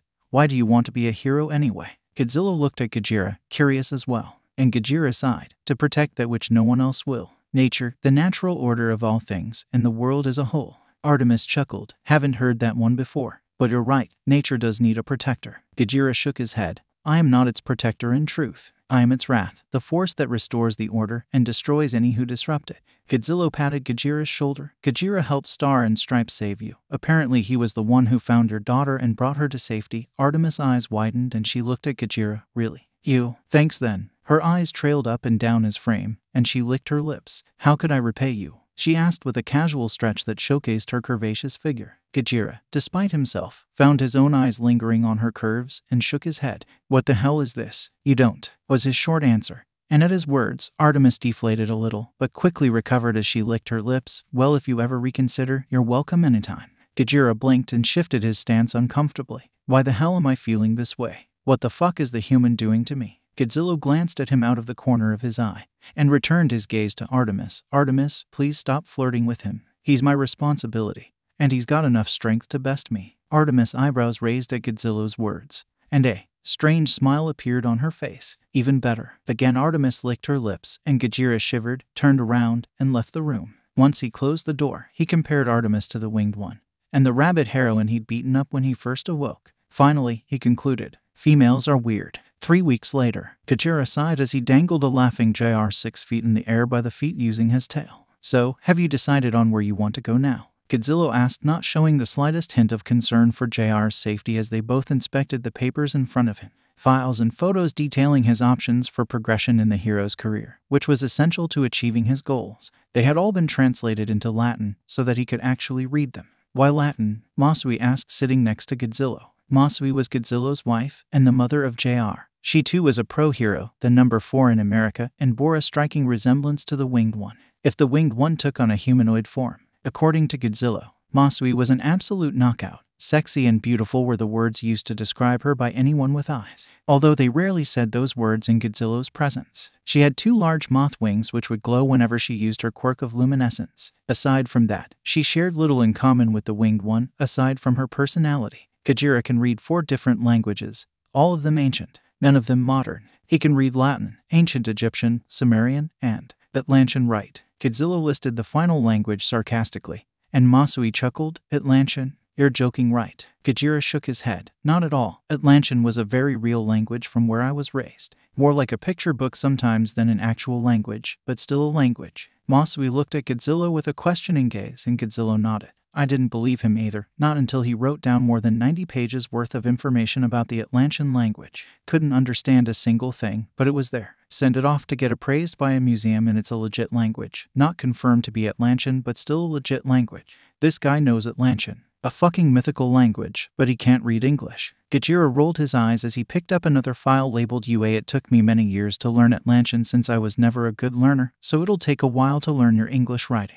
As he went through the pages of the file, Godzilla seemed to recognize the photo on the cover. That's UA, the most prestigious hero school in Japan. That's where I was taught. If you're going anywhere, that's the best, trust me. Gajira raised an eyebrow as he went through the staff list, and stopped as he saw a very familiar face. All Might. So this, All Might teaches at UA. Godzilla nodded somewhat hesitantly. Likely he'd learned of his previous encounter with the number one hero of Japan. Yeah, but UAS really strict, you know. So maybe you shouldn't. Gajira pulled the file away from Godzilla's outstretched hand, a smirk on his face as the thought of a rematch played in his head. I'm sure I can handle it. You did say all of these schools were ready to take on members of the New Goals program. Godzilla gulped and nodded, while Masui seemed to be trying to hold back a laugh. So I think I'll go to this one. You know, because of your recommendation. Standing up, Gajira dropped the file on the table and JR on the ground next to him and walked off laughing maniacally, his own laughter soon followed by Masui's. Later that day, you sure about this? I could put a word in for you with some local hero schools. Besides, you don't even know if you'll get in. Godzilla said, worry and dread clearly filling him as Gajira chuckled evilly. I'm sure. And if I don't get in, I'll just come back here. No problems. Hearing the tone in his latter words, Godzilla seemed to sink with dread. You're going to be the death of me. Gajira smirked and patted Godzilla on the back. Probably. Well, I'm off. Stepping away from the monster hero, he nodded in farewell to JR, Masui, Gabriel, and Artemis, who had come to see him off. Turning around, he leaped into the ocean and began the long journey back to Japan, with only one goal in mind. And that goal was to introduce his fist to All Might's balls. All Might, a feeling of dread crept up his spine, and All Might shivered, feeling cold. Midnight taunted, but he shook his head. Just a feeling. What kind? All Might turned his gaze to the ceiling. A feeling like someone was walking over my grave. Gajira. Four days later, Gajira sighed in boredom as he walked down the streets of Japan. Having arrived earlier that day, it had been a simple task of tracking down a nearby hero and informing them about his completion of the New Goals program. Once that was done, he was no longer listed as a criminal, and all active heroes would know that, as long as they picked up their phone. This meant two things one good and the other boring. First, if he was attacked by a hero, he had every right to retaliate and wouldn't suffer any consequences. But that was ultimately useless given that. Second, he wasn't getting attacked at every turn, so he could actually travel efficiently which was boring. So, as Gajira continued his path down the street, a kid wearing a hero suit crashed into him. Yet Gajira didn't even flinch, opting to glare at the new arrival. Oh, Forgive me. The kid trailed off as he looked at Gajira, shock and fear rising on his face. The kid was rather tall, more than six feet, and had relatively short blue hair. He wore a pair of glasses that clashed rather oddly with his choice of attire. A white armor like suit with metal pipes coming out of his calves and others rising from his waist and ending behind his shoulders. His scent was similar to an engine, likely meaning that the metal pipes sprouting from his calves were a form of mutation. However, fear, panic, and adrenaline were mixed within it, and not from him. Calm down, boy, I'm not an enemy. He was about to leave when something stopped him. An instinct that told him to help. Sighing, Gajira looked at the boy, who was stuttering like a broken engine. Why were you running? The boy shook his head. I can't tell you that. All that you need to know is that I need to leave. Now, I need to get help. Gajira raised an eyebrow. Ah, assistance. Since he doesn't trust me with it, it's likely connected to the endangerment of his friends. Taking a whiff of the boy's scent, he caught several others, yet one of them made him scowl. It was unnatural, faint, yet potent. Whatever it was, didn't belong in the natural order, and that made it his enemy. Stepping around the boy, he said, Don't let me stop you then, boy, and continued walking, following the stench he had caught on the boy. Izuku Midoriya. It was a nightmare. Izuku could only watch in fear and shock as the Nomu drove Aizawa's head into the ground. Without hesitation, he leaped out of the water and drew his right hand back aiming towards the decay villain who had his hand on Tsu. Crab, crab, crab, crab. He's clearly different from our earlier opponents. I've gotta save Tsu and run away. Let go of her. The villain turned to look at him, and as he channeled one for all into his arm, he shouted, Smash! The force of the impact created numerous shockwaves of power, pushing everything back and destroying the lights that surrounded the USJ. Panting, Izuku felt something, or rather the lack of it. My arm's not broken. Can I really control my power at a time like this? I really did it. I did an actual smash. All right. But as Izuku looked up, a flash of dread filled him as he saw the black Nomu standing in front of him, not a mark on his body. When in the world, wait, it didn't hurt him. As Izuku slowly pulled his arm back, he remembered what Tsu had said. Don't you think they're trying so hard because they have a way to kill him? No way. You move well. You're Smash. Are you a follower of All Mights? Oh well, I'm done with you. Izuku's eyes widened in fear as the Nomu grabbed his arm and pulled him up. Raising its left hand, it went to bring it down on his head and crush his skull. Play Godzilla Combat Suite by Star Wars Jabaro. Without warning, the sound of breaking metal filled the air as the doors to the USJ were thrown off their hinges, and the blackness of death never came. Opening his eyes, Izuku gasped, and the decay villain paused his hands inches away from Tsu and Mineta's heads, just as the Nomu's was from his own head. Walking from the dust and rubble caused by the entrance, a tall figure appeared, a long tail swinging behind him. Gajira, for it was indeed the Kaijin who stood before them. His red eyes briefly surveyed the USJ before landing on them, or rather him. A growl emanated from Gajira's throat. His eyes narrowed in equal hostility and anger as the ominous blue glow that flashed from his dorsal plates and Kaijin parts. Who are you? The decay villain asked, standing up and facing Gajira. The Kaijin merely bared his teeth in response. Your demise, was the Kaijin's response, before he leaped at them, leaving a crater in his wake. The decay villain leaped out of the way, but it became clear that he wasn't Gajira's target. No, that privilege belonged to the Nomu. With a yelp, Izuku leaped out of the way as Gajira slammed into the Nomu, pushing the behemoth up and away with ease. Kill him, Namu, the decay villain shouted. I can watch the fight later, but first I need to save Tsu and Mineta, moving as fast as he could. Izuku pulled Tsu out of the water and grabbed Mineta before running to the others who stood at 13's side. Deku, are you okay? What's happening? Who's that? Uraraka shouted in panic and confusion as she looked at the battle behind him. I'm fine. Villain showed up and is fighting the Nomu Uraraka's eyes widened. A villain? Why is he helping us? Izuku shook his head. I don't know. He turned around and his own eyes widened as he saw the clash between Gajira and the Nomu. Gajira had the Nomu on its back legs, striking with such a savage ferocity and hatred that Izuku had only seen before in clashes of rivals and nemesis. The duo traded blows, shockwaves destroying the ground below as they clashed. The Nomu's unseen and invisible, but Gajira's were paired by blue bursts of energy that seemed to burn the Nomu's skin. Nomu cannot be killed. Shock absorption and regeneration make it invincible. The decay villain shouted, right as Gajira ripped off its arms and sent it flying with his tail before charging at the Nomu. Yet before Gajira could reach the Nomu, it yelled and its arms reappeared in moments. Regeneration. The Nomu roared and tanked a blow from Gajira, before punching him in the face and sending the Kaijin flying. Quickly, it pursued Gajira as he tumbled, but with a single bash of his tail, Gajira stood once again and grabbed the Nomu's hands, wrestling with it.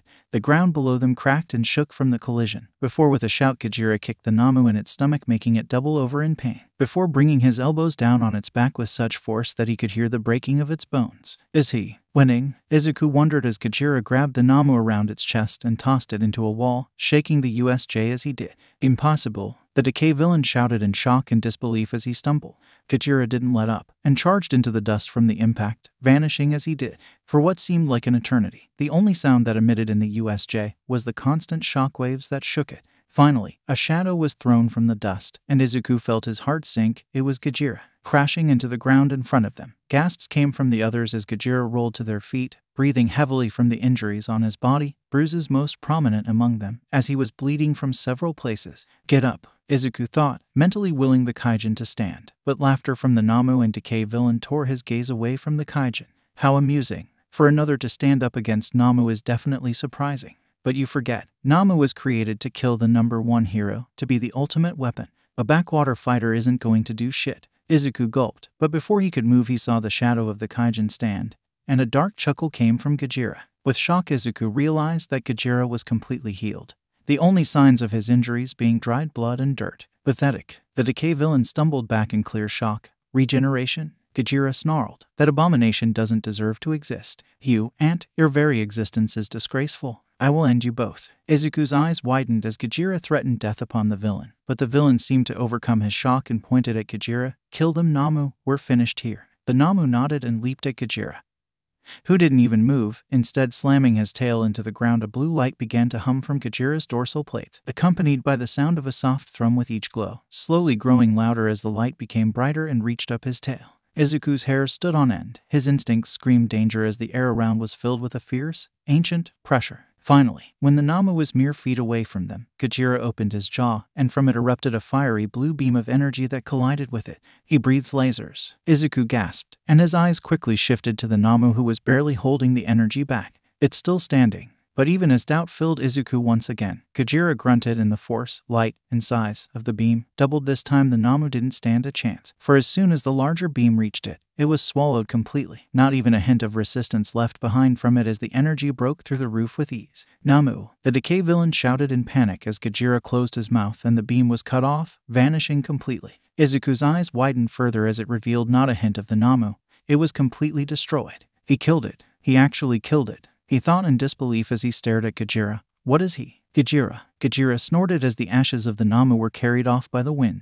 Turning his gaze to the hand man, he snarled, the raging fire of wrath within him not yet satisfied. How dare they? These bugs, insects, pests, parasites, how dare they defile the most sacred of cycles, the most revered of orders, life and death? How dare they rip the limbs from the dead? How dare they create abominations from the dead? I will see them perish. He had never believed it possible for humans, for anything, to defy the most sacred of orders, the order of life and death, of the circle of life. Once something was dead, it stayed dead. That was the law of the universe. Yet, now, the humans were creating living dead, a horrific, disgusting mash of limbs from the dead. They spat in the face of the very foundation of the balance and called them weapons. He had rarely been enraged as he was now. Few times before had he felt this burning anger. Clenching his jaw, he stared on as a living shadow appeared next to the hand one. They must be villains, but it matters not. They will burn like the rest. Die. Gajira yelled as he charged at the two, but before he could reach them, the shadows swallowed them both, and they vanished, leaving only Gajira in their place. He growled, Cowards, the retreat will only prolong their pain. As the wind changed direction, Gajira's eyes flinched and he jumped to the side as a figure slammed into where he had just been, dust and debris being tossed into the air from the impact, and a familiar figure stood in the dust glaring at him. So you're finally here. All Might. All Might glanced behind him and his eyes widened as he saw the unconscious bodies of two fellow pro heroes. All Might's fists clenched and he looked at Gajira with rage. How dare you? The hero lunged at Gajira, who merely glared at him and using his tail grabbed All Might's fist, letting loose a grunt as the force of the blow traveled through him. Impressive. Stronger than last time. It seems rage boosts his power. However, a fight here would be idiotic and counterproductive. Scoffing, Gajira flicked his tail, causing All Might to stumble back. Calm down he said with a blank face, which did nothing as All Might readied to attack him again. Wait, All Might. A green haired boy jumped in between them, and with a single sniff, Gajira's eyes widened. A shard of this boy's scent. It's almost the same as All Might's. Ever since he had arrived in this new world, a majority of humanity had a new scent mixed within them. Despite what one may think, a scent was not merely where one had been, it was a mixture, a story of one and who they were, their history, their emotions, their family, and now even their quirks apparently. Out of all of them, quirks were the only ones that were unique. He had yet to find another whose quirk was the same as another's. Until now, young Midoriya, step aside, All Might said, not harshly but rather in concern. Midoriya shook his head. No, All Might, you've got it all wrong. Gajira helped us. He saved us from a monster and the villains. All Might's eyes widened and he looked at the others. Is this true? And when he received nods from all of them, he sighed in relief before looking at Gajira, Thank you for helping them. But still, he pointed a finger at them. Your past actions do not make you innocent.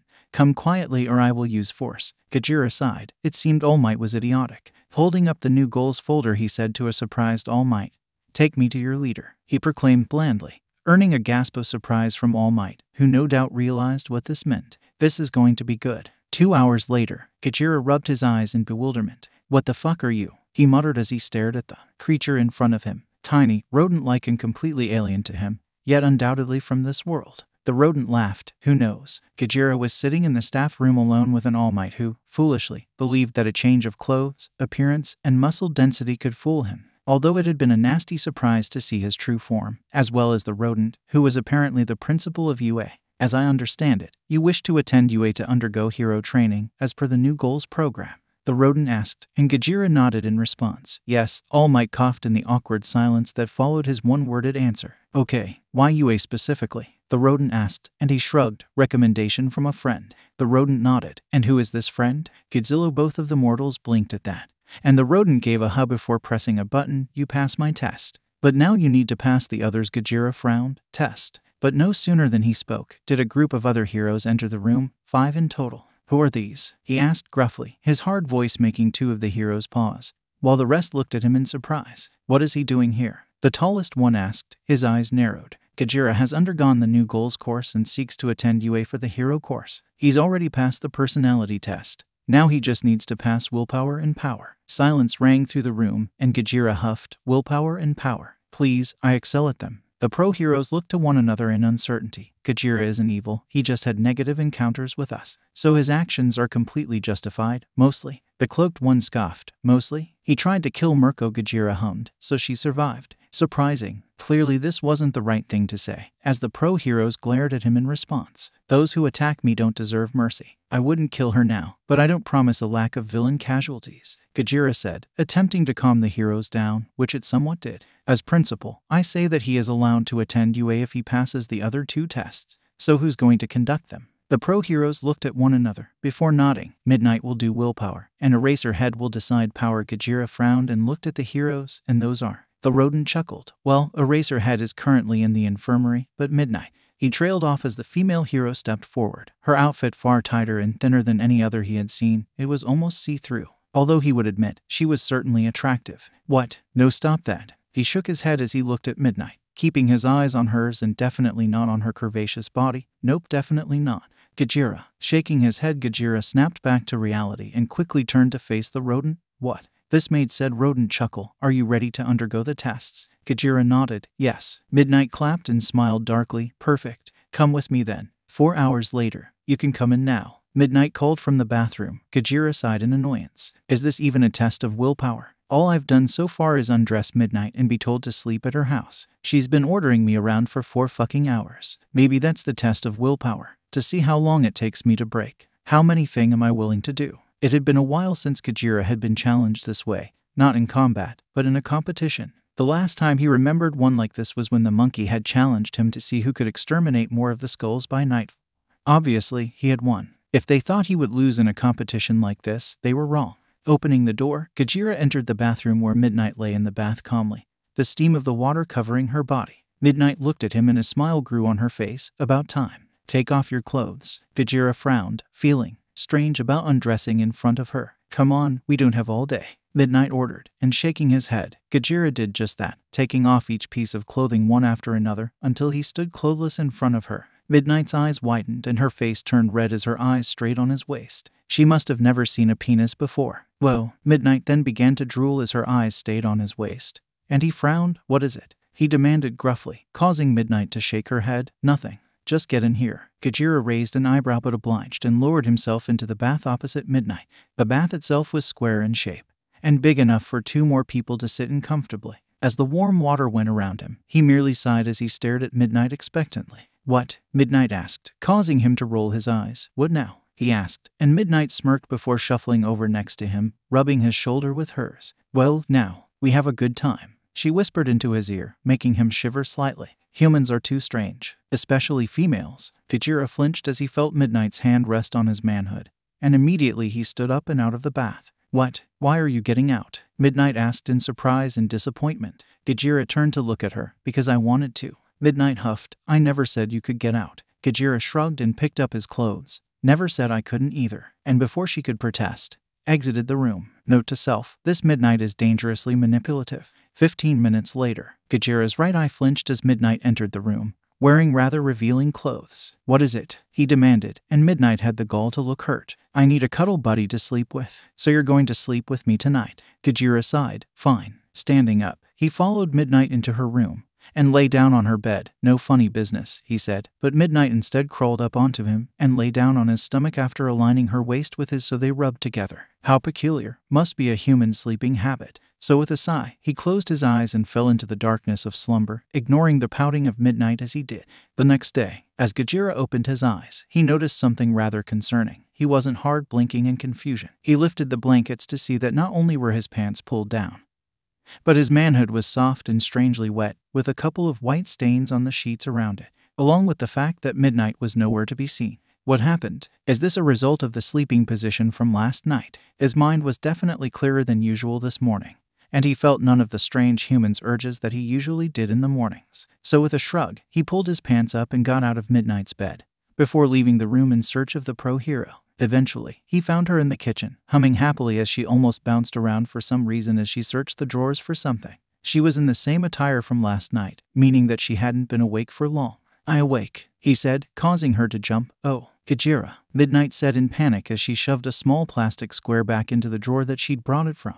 She quickly tossed her hair back and looked at him, red faced. He frowned. You have a white liquid on your face, he said, and Midnight panicked even more, rushing around and finding a cloth to wipe it off with. Curious that liquid bears a strange scent. Hey, it doesn't matter anyway. Have I passed my test? Gajira asked, and Midnight blinked. Uh, no, not yet. Gajira raised an eyebrow, before pointing at the drawer that she had shoved the plastic into. Then I assume that is mine. Midnight panicked even more. Uh, actually, you know what? You pass. Congratulations, you can go back to UA now. Gajira frowned but shrugged and left the house, although he did wonder what the plastic cube was, as well as the white liquid and pretty much everything else that had happened that morning. I'll ask the rodent when I have the chance. Fifty minutes later, Gajira paused before he opened the staff room door. Three scents came from within two familiars, the other alien, the rodent, and the rabbit, and a barbecue. Rolling his eyes and mentally preparing for the shouting that was about to erupt, he entered the room to see rodent, rabbit, and a flaming human chatting.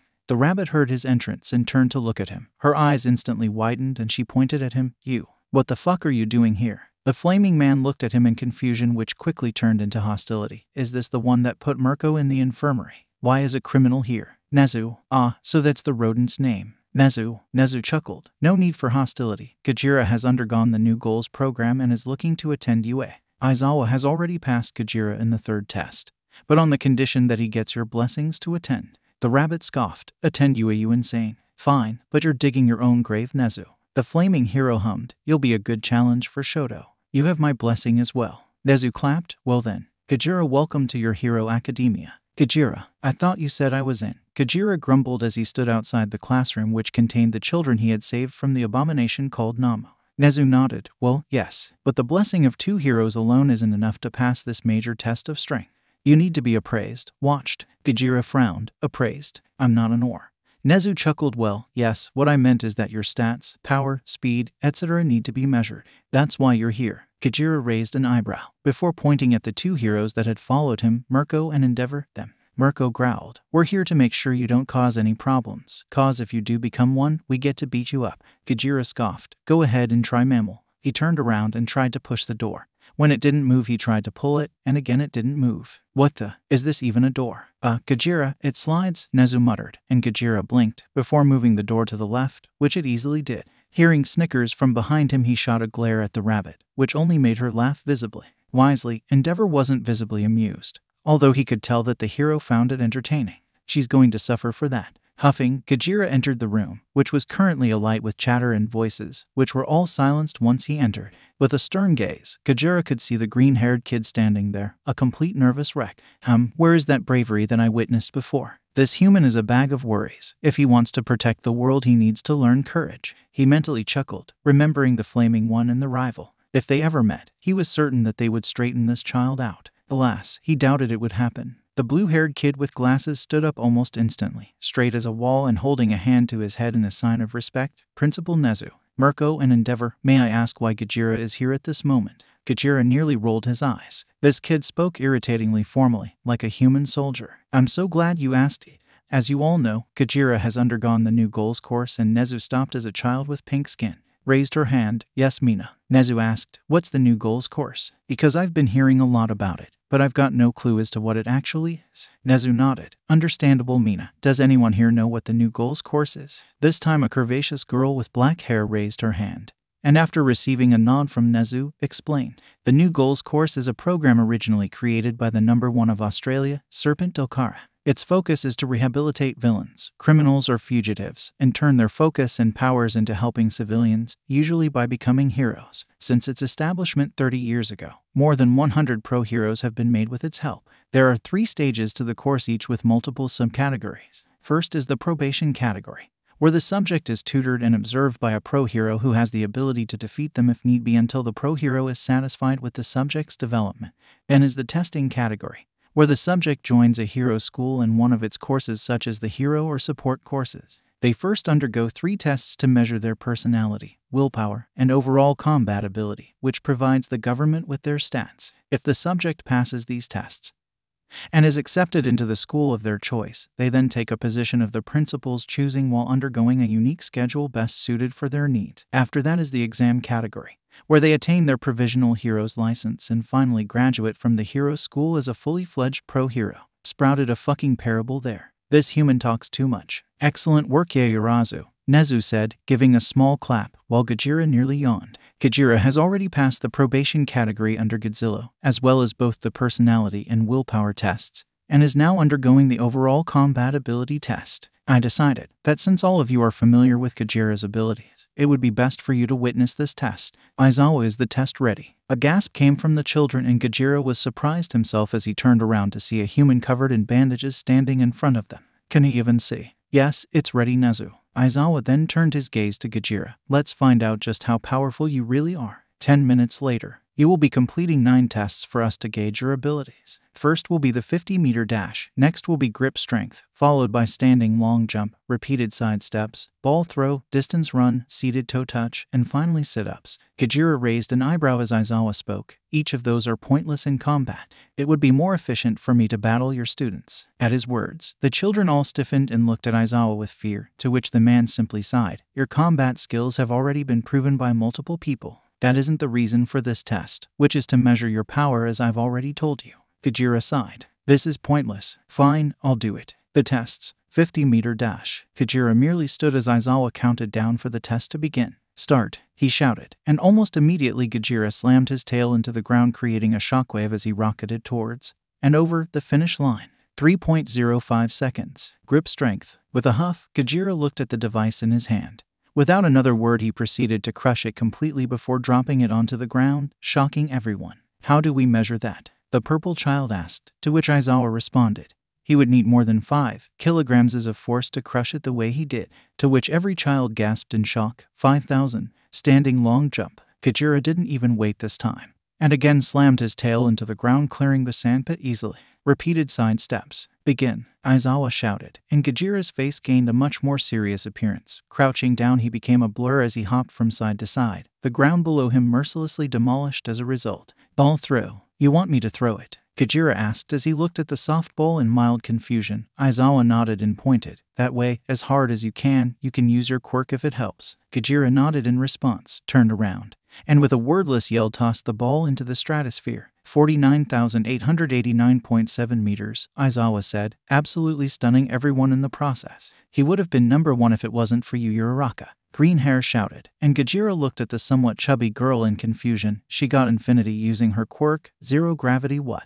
Distance run. So I run until I get tired. Gajira asked and Aizawa nodded. With a shrug, Gajira turned around and began to run around the course for the next three hours before Aizawa finally called him back. Seated toe touch. Gajira growled in anger, standing up and kicking the measuring device away. This is useless, and stormed away. Gajira only got halfway down his ankles. Sit ups. Aizawa merely sighed and waved his hand. Don't worry about this one. You'll just keep doing them for days. Gajira nodded. You're learning. Good. After the tests. So, what is my score? Gajira asked impatiently as the three heroes discussed his results. Finally, once they all concluded the result, they looked at him and said, First place. Gajira nodded in satisfaction. Good. Now, usually this would be the end of the test, but since you seemed so eager to fight someone, I think I'll grant you your wish. You can spar some of Class 1A.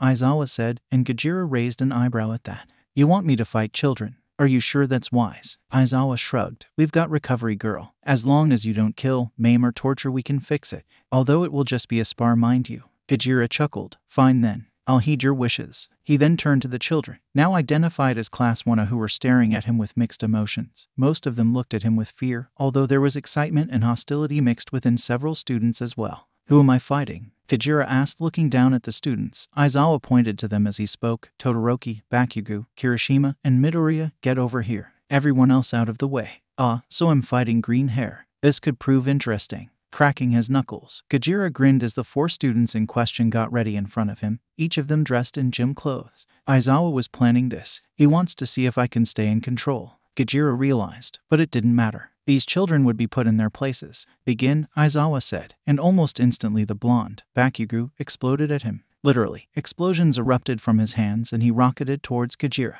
Die, Bakugo shouted, making the Kaijin frown, easily sidestepping the boy. He moved to slam him into the ground when a sharp cold enveloped him and his head shot towards his feet, seeing ice creeping up his legs. Turning to see the culprit, he narrowed his eyes when he saw Todoroki looking at him indefinitely. Almost in boredom, and as the ice closed around him, he heard the boy's last words If my father thinks you'll challenge me, he's wrong. Fuck this and fuck Aizawa. This kid's going in a body bag. With a shout, Gajira released a weak atomic pulse that instantly destroyed the ice and glared at Todoroki. Those were your last words, mortal. Die, bastard. Gajira didn't even look at Bakugo as he slapped the boy in the face with his tail, sending him flying into Kirishima. Then he lunged at Todoroki and smashed through the ice walls that he created as he did. Pathetic. He yelled as he grabbed Todoroki by the neck and slammed him into the ground, knocking the wind out of the bug instantly. Then he put his foot on the boy's head, yield. He growled, putting a small amount of pressure on the child's head when smash. Gajira's head shot up as he felt a strong wind slam into his side, making him stumble slightly. Turning his head, his eyes widened with surprise when he saw the culprit was green hair. Did he yell smash? Like oh might. Could he? Wait, his fingers, they're broken. Gajira frowned in confusion as he looked at Midoriya. Then, walking to him, he knocked Todoroki unconscious as he passed the boy. Smash, smash, smash, Midoriya screamed, again and again, flicking his fingers to create the powerful gusts of wind, and breaking them each time. Yet each time the wind crashed into him, he merely grunted and continued walking until he stood in front of the boy and grabbed his arm. Cease this, Midoriya, Gajira said gruffly, giving the boy a stare that froze him instantly. Don't ignore me, you extra. Bakugo screamed as he rocketed towards Gajira, but with a sigh, Gajira grabbed the boy by the head and let him strike him with the explosions from his hands. Is that all? Gajira asked as Bakugo looked at him in shock. Pathetic, he said, before tossing the boy away. Then glaring at Kirishima, which turned the red boy pale. He scoffed, and dragging Midoriya by the arm, he walked up to Aizawa. Care to tell me why this boy breaks his fingers with his quirk? He asked, to which Aizawa looked at Midoriya in slight disappointment. He can't control his quirk, so he breaks his bones whenever he uses it. Gajira looked back at Midoriya, then back to Aizawa. Take him to the healer. In the meantime, I wish to see what the rest of your class is capable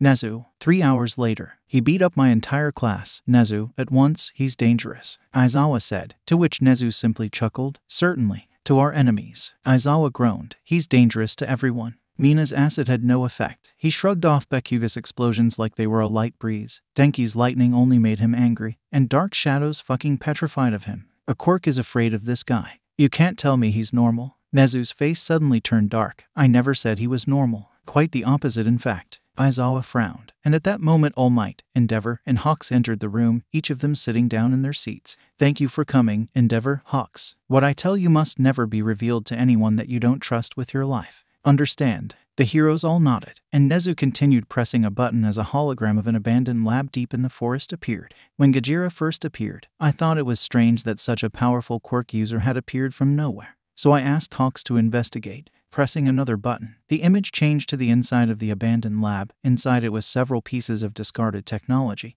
but also a single test tube that had been broken from within. We found this, an abandoned lab with almost no technology present, save for one test tube. And inside that test tube, we found this. Nezu tossed a black scale onto the table. Aizawa, All Might, and Endeavor's eyes all whitened as they recognized it.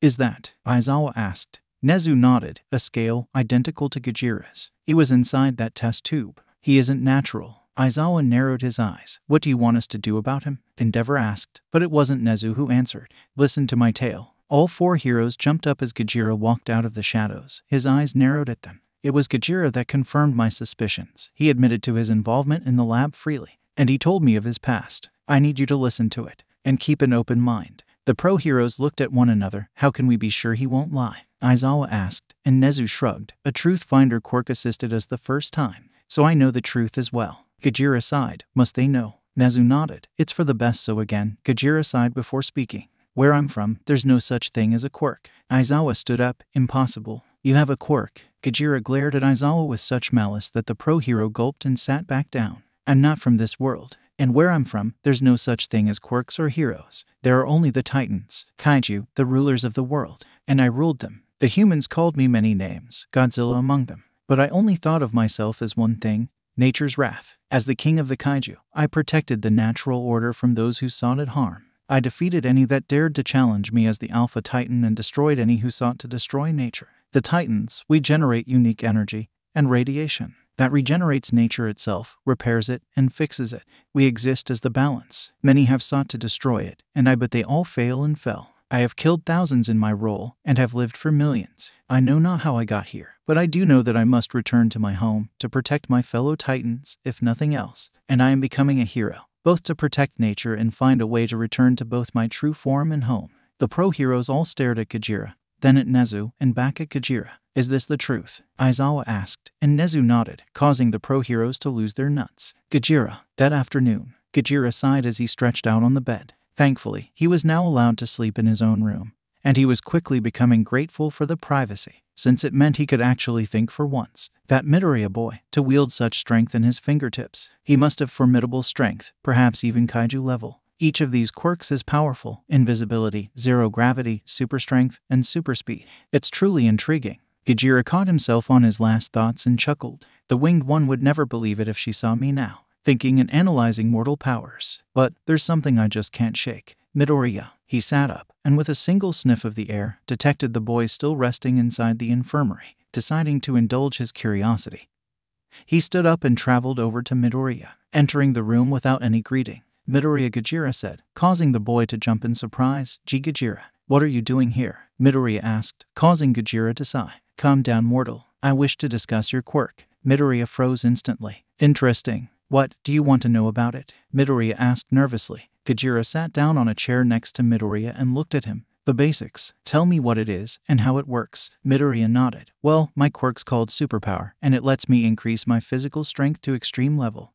Gajira held up a hand, and Midoriya trailed off. You want to lie to me? Fine. Midoriya flinched. But I wasn't. I don't care if your quirk's from fucking cannibalism. I do care about you controlling it. Midoriya blinked. Controlling it? Gajira nodded in response. You have immense strength, boy. But not only can you not handle it, but you lack the skill to use it. Midoriya clearly didn't follow, and Gajira raised his right arm and channeled some atomic energy into it, causing it to erupt into blue flames. My quirk isn't my mutation. It's this atomic and nuclear production and manipulation with something else, which makes me a walking nuclear apocalypse. Midoriya froze, but this time not in fear, because he quickly brought out a book and began mumbling as he wrote something down. Gajira waited for Midoriya to stop before continuing. My quirk is dangerous as well, Midoriya. If I use too much, even I am injured by its ferocity, and if I don't control it, I will kill anyone around me. So I learned to control it. In my limbs, organs, and even in bursts. Midoriya looked at him, confusion slowly growing on his face. Why are you telling me this? I'm nothing special. Gajira shook his head. I know an alpha when I see one. And you, Midoriya, have the potential to become an alpha yourself, but not without training. He stood up suddenly, surprising Midoriya. Meet me here tomorrow at first light. and we will begin your training. Then, without another word, he left the room and was met by Aizawa and Nezu.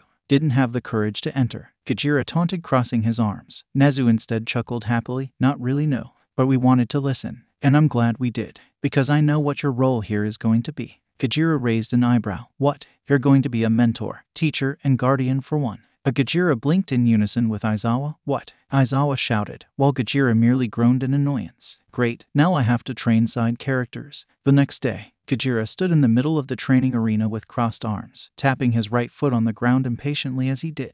How long is it going to take? He muttered, right before Midoriya rushed into the arena, wearing what he guessed was his hero suit. I'm sorry I'm late, Gajira. Midoriya said in a panic, bowing to him. Gajira huffed. Being late means death in the real world, Midoriya, for yourself or for others. Don't make that mistake again. Midoriya nodded, and Gajira walked around him, inspecting his outfit. So this is your hero suit. Tell me, Midoriya, when you use your quirk, how do you use it? Midoriya instantly opened his mouth, but Gajira stopped him. Think about it. You channel your quirk into your limbs, sacrificing them for the usage of your full power. That's idiotic, amateuristic even, and it'll get you killed. Midoriya's shoulders slumped, and Gajira whacked him in the back of the head.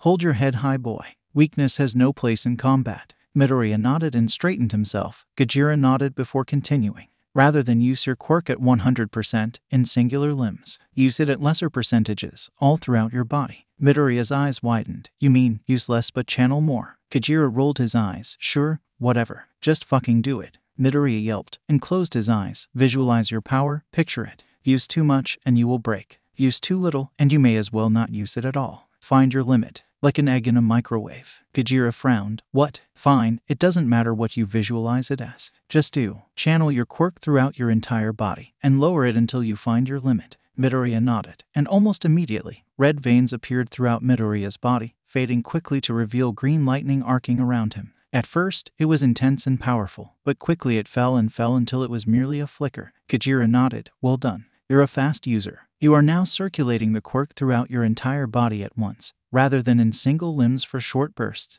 How much can you use? Gajira asked. Midoriya opened his eyes. 5%. And Gajira's sweat dropped. That's pathetic, boy. Gajira. Three days later, Gajira could only grumble as he stood at the back of the room. I should be out there, hunting the insects that dared to defy death. And yet, here I am, babysitting these hatchlings. If the rodent wasn't my only hope at returning to my true form. Gajira's thoughts trailed off into fantasies of all the ways he would have broken out of the school and tortured the insects who defied nature, mainly revolving around atomic burns and nuclear illness. You guys. Gajira flinched as the all too happy voice of the invisible girl spoke up. Did you watch the news last night? The tailed one nodded. Yeah, the sleeve of the invisible girl raised, signifying that she raised her arm. It was so cool that we got a few seconds of screen time. The invisible girl's shoulders then sagged, and her voice took a more somber tone, though I bet nobody noticed me hanging out in the background with everyone focusing on Gajira. The multi armed one winced, probably not. It is difficult to stand out when you're just a pair of gloves. The tailed one raised a finger at on the fact that Gajira is a natural show stealer, and I don't think any of us stood much chance. Such concern about popularity. This is mediocre at best compared to what I used to get. The blonde one leaned back on his chair. Those news channels love us. We're basically celebrities, the red haired one nodded. Yeah, it's crazy, right? I mean, we didn't even really do anything, the strange eared girl sighed. Get over yourselves. The hero course that pumps out pros were attacked, and a former villain saved us, and that's what they care about. Gajira sighed quietly. I knew the human younglings talked often, but this is irritating. Unlike the rest of the room's occupants, Gajira himself wasn't concerned about the attack, but rather the attackers. The Nomu in particular. It was artificially created by insects, and in insect fashion, I doubt they would have left such a powerful weapon well enough alone. These younglings are missing the point. Deciding to add his two cents, Gajira spoke up. You are all missing the point. Almost instantly, the younglings silenced and turned to look at him. Uh, what point? The pink one asked. Gajira scoffed. The Nomu wasn't natural, any fool with eyes could see that. The girl with the ponytail's eyes widened as she began to understand. That means it was artificially created. Gajira nodded. Indeed. Do you know what that means? This time it was Midoriya who spoke up. That means there could be more like it. Gajira uncrossed his arms, not could Midoriya. Will, you, humans, are destructive and possessive by nature. You find a weapon, and you abuse it. Mark my words, there will be more Nomu. They will be stronger, faster, better. As you all are, you stand no chance against them, and when you meet another Nomu unless you become stronger, you will perish. Silence fell over the room, and Gajira scoffed at the wide eyes that all stared at him. People aren't like that. Sure, some of us are the redhead protested standing up, but Gajira leveled a glare at him, silencing him. You discovered how to make fire. And now you have bombs and flamethrowers. You discovered farming, and now you destroy nature for money and personal gain. You discover radiation, and you create the nuclear bomb, and now there is the Nomu. Quirks are just the latest in the eternal line of exploitation. The redhead opened his mouth to speak, but no words came out, and Gajira rolled his eyes. Attention! Gajira groaned as he heard the voice of the jetted one running into the room. Homeroom class is about to begin. Everyone stop talking and return to your seats.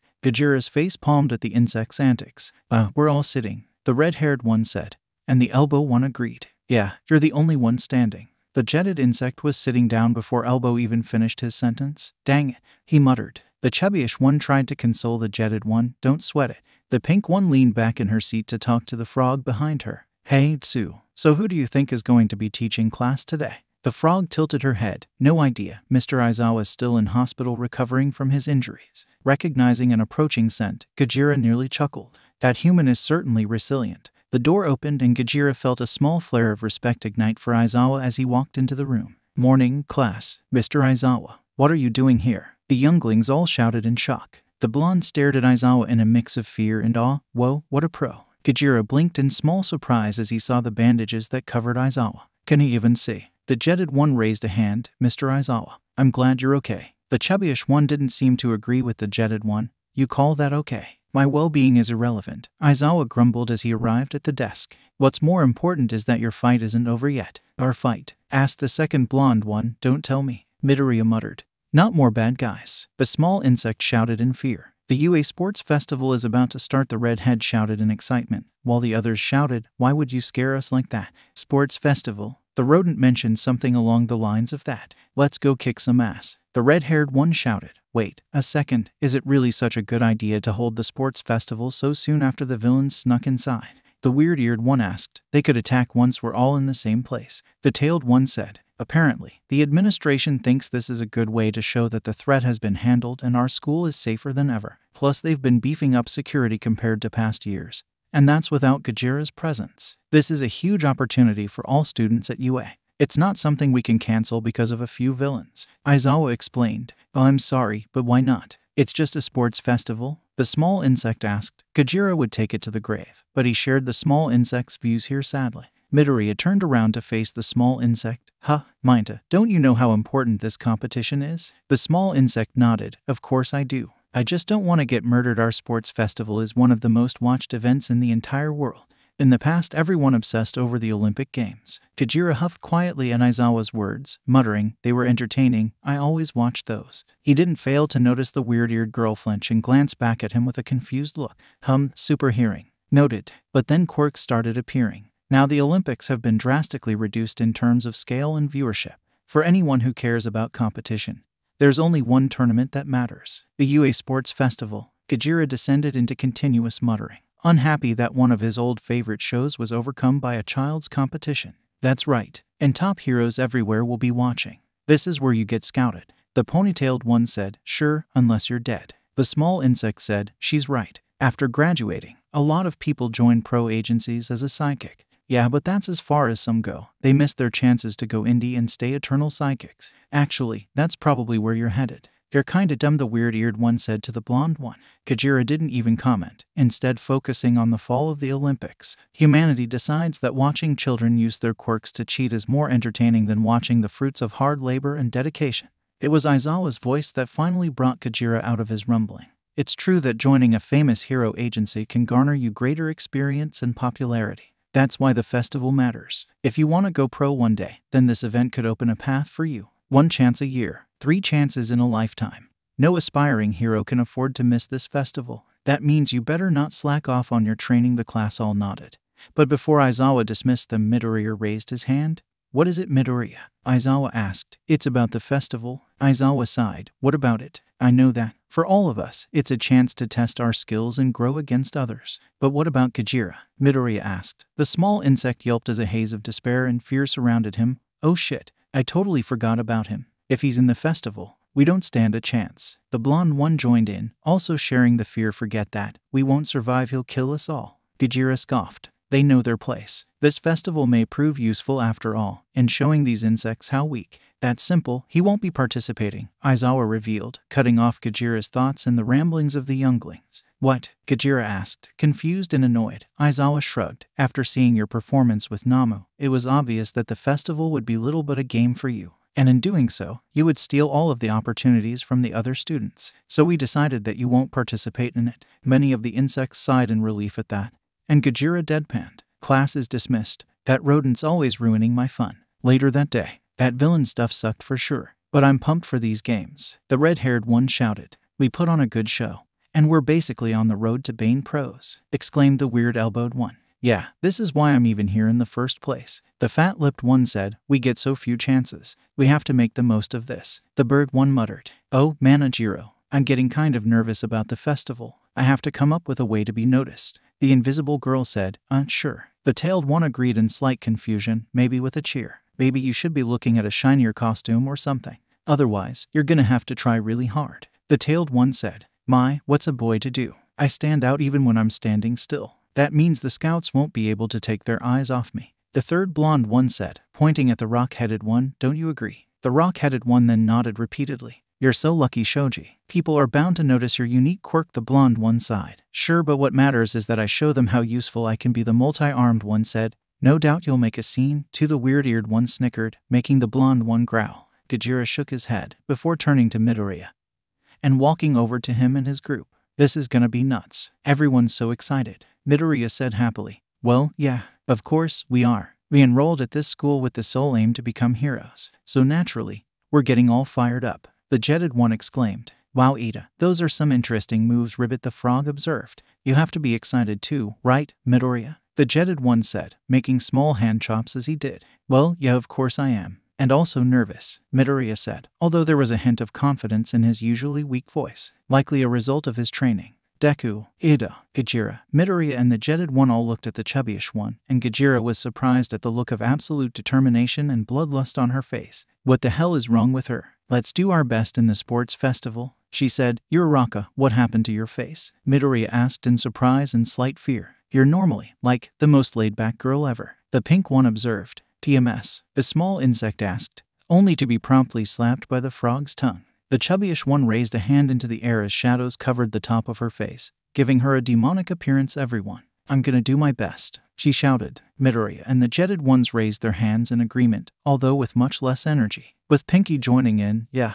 The chubbyish one then turned to the red haired one, the bird one, and the elbow one. I said, I'm gonna do my best. They also raised their arms. You okay? You kinda look like you're lost in it, the red haired one said. Gajira nearly flinched as the chubbyish one then turned to her. I said, I'm gonna do my best. She screamed, although she and everyone else noticed who she had shouted at. They all went quiet and the chubbyish one's face turned to worry. But Gajira chuckled, You have a fire within you. Good. Uraraka blinked, before smiling thanks. Her face then returned to bloodlust and she went off to find new victims. After the end of school, Gajira hummed in satisfaction as the final class ended, and he could finally return to training and extend an offer to Uraraka. Uraraka has devotion and a strong competitive spirit, but her strength betrays her. Perhaps she would do well in training as well. But as he stood up and walked towards the exit, where the jetted one, Midoriya, and Uraraka all currently stood, he paused before frowning and muttering, What the hell? Blocking the exit of the room was a mob of younglings. You um, why the heck are you all here? Uraraka shouted. Do you students have some sort of business with our class? The jetted one asked, Why are you blocking our doorway? I won't let you hold us hostage. The small insect shouted.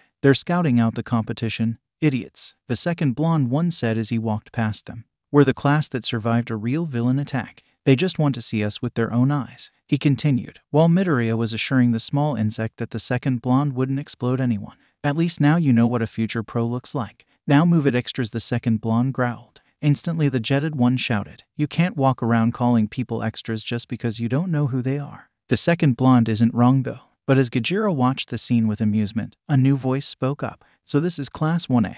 I heard you guys were impressive, but you just sound like an ass. As Gajira watched, a lanky purple haired boy pushed himself to the front of the crowd. Almost immediately, Gajira disliked him. Is everyone in the hero course delusional, or just you? The others next to Gajira were shocked and began to shake their heads in a warning. How sad to come here and find a bunch of egomaniacs. Not to mention you've got a villain for a friend. Gajira narrowed his eyes at the last part. I wanted to be in the hero course, but like many others here, I was forced to choose a different track, such as life. I didn't cut it the first time around, but I have another chance. If any of us do well in the sports festival, the teachers can decide to transfer us to the hero course, and they'll have to transfer people out to make room. The jetted one, Uraraka and Midoriya all gasped at that, scouting the competition. Maybe some of my peers are, but I'm here to let you know that if you don't bring your very best, I'll steal your spot right from under you. Consider this a declaration of war. Gajira laughed at that, making the lanky boy move his head back in surprise. A declaration of war. Pitiful. Gajira walked forward, making the insect step back. To the lanky one's credit, he stood still for a little longer than most. Pitiful. I don't think you understand. Even if you're from the new goals course, you aren't safe from being transferred out. If I was you, I would be careful or I'll take one of your friend's places, Gajira scoffed. Insect, you should watch your tongue. You had your chance to get into this room, you just like everyone else, and you failed, like so many. He then glared at the boy. That means that everyone in this room is better than you, stronger than you. They are superior. If you take their place, they don't deserve to be here. But until that happens, they do. And I look forward to seeing you be beaten into your place, even if I can't do it myself. The lanky one's eyes widened in fright, and Gajira growled, turning his gaze to the others, Now leave, before I start breaking bones. He then turned around to face Uraraka and Midoriya. Midoriya, Uraraka, come with me. The two nodded and ran to his side, and they left, the mob of insects parting like the Red Sea before them. Twenty minutes later, Ooh, Gajira, what are we doing here? Midoriya asked, confused. Gajira had taken them to one of the free battle centers and was standing in front of them with crossed arms. Oh, yeah, why am I here, Gajira? You've never asked me to train with you before, Uraraka asked, scratching the back of her head. Gajira sighed. I asked you to train here, Uraraka, because you earned a sliver of respect from me. Uraraka blinked. Respect? How? Gajira pointed at her. Your fighting spirit. Your fierce determination was impressive and unexpected from you. As such, you have earned the right to train alongside Midoriya. I will put you through hell, but you will become stronger for it. Are you ready? Uraraka's eyes widened, but she nodded and Gajira smirked as he took on a more feral stance and glared at them good. Now run. Two weeks later, Gajira huffed as he watched the bleachers below. He, alongside numerous other UA staff and pro heroes, was seated in a special booth away from the other insects. He sorely recognized anyone else, but apparently others recognized him. Boy, Scaly Gajira looked up and turned his head to see a short, oddly familiar figure storming up to him, anger written on her face. Dismissing the nickname, Gajira merely looked at her. Last time I was here, I couldn't say what I wanted to. But that ain't the case now. Gajira deadpan, do I know you? The woman's eyes widened and she just stared at him in mute shock for a moment. That's when Gajira began to take note of several features dark skin, strong build, long white hair, red eyes, and bunny ears. Sighing, he said, All right, Miro. An expression of absolute rage covered the woman's face. It's Mirko Jackass. Sure, whatever. Mirko tapped his chest. I've got a score to settle. And you better be ready for when I do. Gajira rolled his eyes but said nothing. And what are you doing up here anyway? Mirko asked. Gajira looking at her said blankly, I am acting as both security and a referee for the students of UA. I will stop the fights if they get out of hand, and I will stop any intruders from entering during the earlier rounds. Mirko blinked. Then what are you doing here? She asked. Gajira nodded at her. Talking to you, Mirko growled, but before she could answer him, an irritating voice boomed out from the speakers near him. KO. Make some noise, you rabid sports fans. Gajira sighed. That's my cue to leave. So turning around, he left the booth and headed towards the exit to patrol the stadium. Fifteen minutes later, Gajira grumbled as he continued his path around the stadium. This is boring. Almost makes me regret choosing this job. Almost. Izuku Midoriya is our champion. Gajira looked up at the nearby projector and let a small grin grow on his face. Good job, Midoriya, but as he looked down, he realized there were two pro heroes staring at him in mute surprise. One of them looked like a walking tree, while the other looked like a human compressor. There was a third one to the side, a female wearing an extremely tight outfit. What? he asked, deadpanning at the other pro heroes. The walking tree pointed at him. You're the guy who thought Godzilla, aren't you? The former villain Gajira. Gajira nodded. But before he could respond, he felt a foot plant itself into his cheek and push him back a foot or two. Eyes widening in anger, Gajira spun around to see the female pro hero in a fighting stance, the villain Gajira. This is a golden opportunity for me, she shouted, while the walking tree and compressor's eyes widened and they were waving their arms trying to get the foolish girl's attention. Moronic fool, she will need to be put in her place. With a single glance at the walking tree and compressor, he conveyed his message and they both stopped, agreeing with him, although their eyes were requesting that he didn't break her. He also glanced at the nearby media. She must be extremely foolish for that to be their one request. And from what I hear, hero rankings are partially reliant on public recognition. So I guess I'm about to jump up the ladder I haven't even begun to climb. Gajira raised his head. Don't attack me again, insect. The pro hero scoffed, calling me an insect. I'm Mount Lady. Gajira deadpan. Nah, you're Mount Shorty. The other two pro heroes chuckled at the insult, while the blonde pro looked outraged. I'll show you. And with that, she began to grow. Gajira slowly raised his head in small surprise as the pro hero grew to large proportions.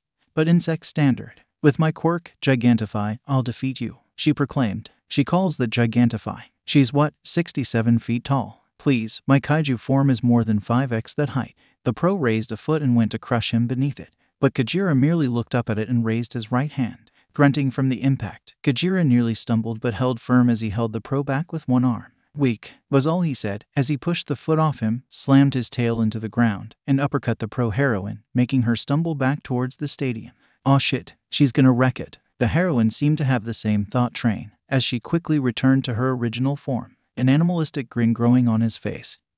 He leapt up, around 60 feet, and caught her in his arms, much to her surprise. Hey, let me go, she shouted as he landed back on the ground, grunting slightly as he did. Gajira merely chuckled as she continued to hit his chest in a futile attempt to make him release her. After sending a glare at the media to make them scram, he put her over his shoulder and walked over to the other two pro heroes. You, do you have any idea what you just did? The tree asked. The pro heroine cried out in anger and despair from his shoulder. Are you guys in on this too? I don't want to be kidnapped. The compressor sighed. Gajira went through the new goals program. You, he's a good guy now. And you just attacked him. Gajira dropped the heroine, who had a very shocked look on her face, onto the ground. Then why'd you let me fight him? She shouted, jumping up. The walking tree shrugged. We thought you needed a lesson. And Gajira just so happened to provide the chance. Besides, he fought the number two of America on equal footing. You really thought you would have beaten him. To this, the pro heroine deflated, mumbling depression. While Gajira only scoffed, you should learn to recognize your superiors. Godzilla was a much stronger opponent than you. He then turned around to head back into the stadium. One hour later, Gajira chuckled as he watched the pure, unadulterated rage that was coming from Bakugo. I don't want that piece of garbage. All Might reached out to place the medal on Bakugo's head. Come on now, get that trash off of me, you idiot.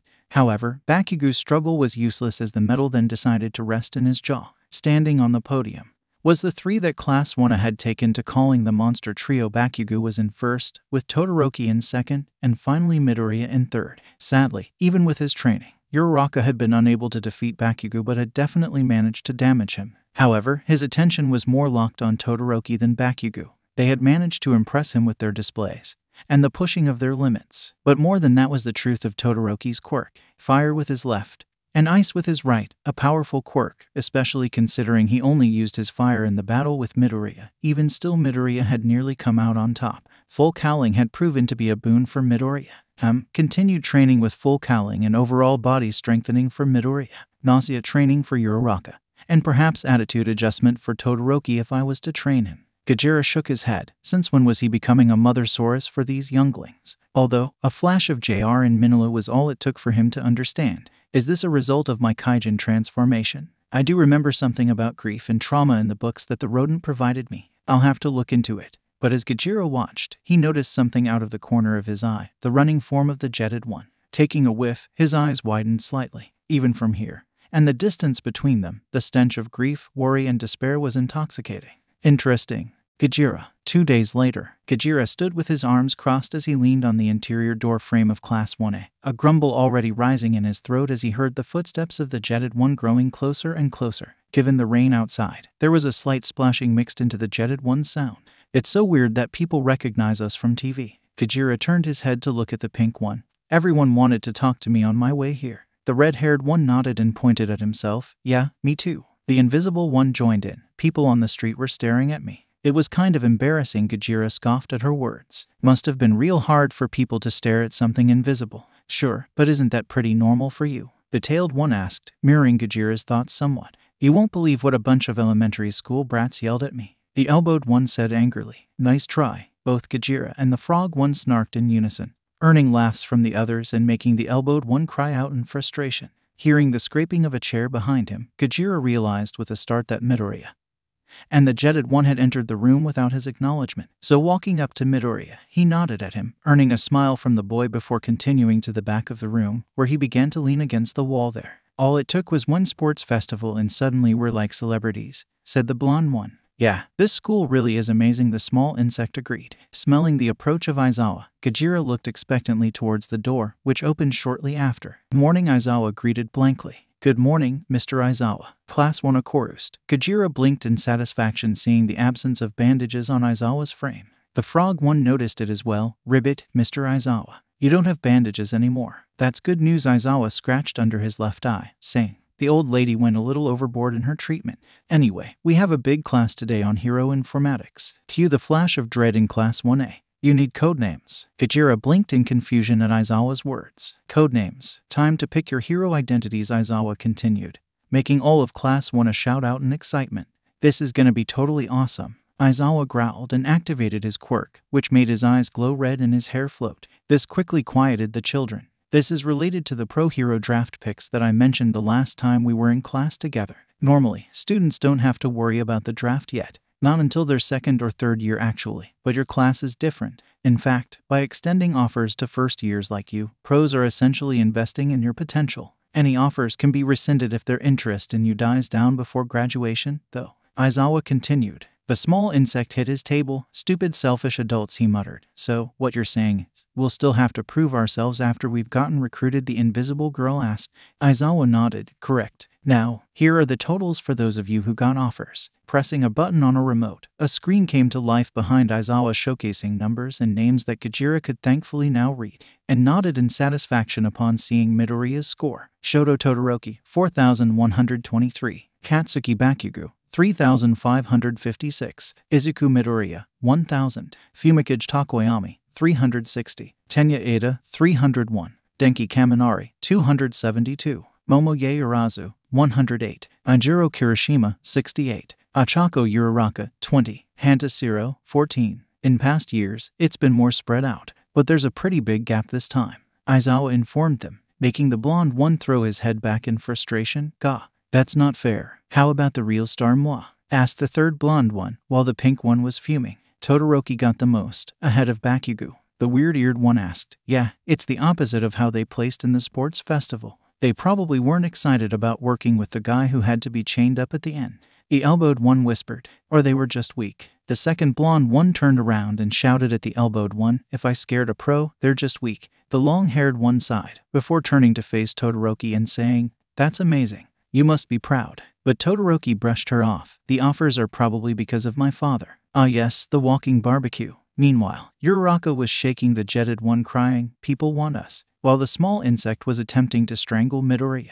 You stole all my offers, traitor. Despite these results, you'll all be interning with pros. Got it. Even those of you who didn't get any offers, Gajira frowned at Aizawa's words. And seeing this, Aizawa confirmed his suspicions. Yes, you will be interning as well, Gajira. You aren't exempt from this, even without any offers. Gajira's eyes widened as he realized something, and silence befell the classroom. If I'm interning, that means. His eyes quickly scanned the list again and again, anger mounting each time, until a dark aura of barely contained fury surrounded him, and his upped face was shadowed. Oh, why you okay, Gajira? The blonde one asked. Anyone watching would have seen a red light coming from Gajira's right eye as he glared at the blonde with such intensity that he turned white from fear. Someone with fucking elbows got more offers than me. A demonic smile, full of teeth, grew on Gajira's face as a light maniacal smile grew and laughter accompanied it.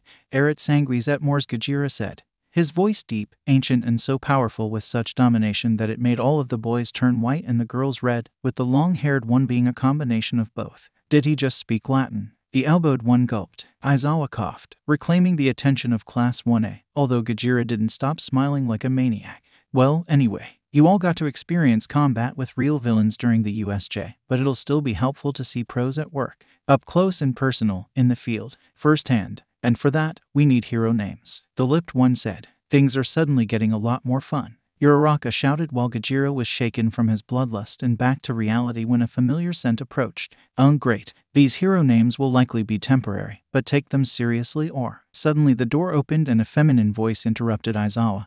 You'll have hell to pay later. The boys of the class all gasped. With the exceptions of Todoroki and Blonde number 2, what you picked today could be your code name for life. You better be careful, or you'll be stuck with something utterly indecent Midnight said entering the room. It's midnight. Multiple students shouted.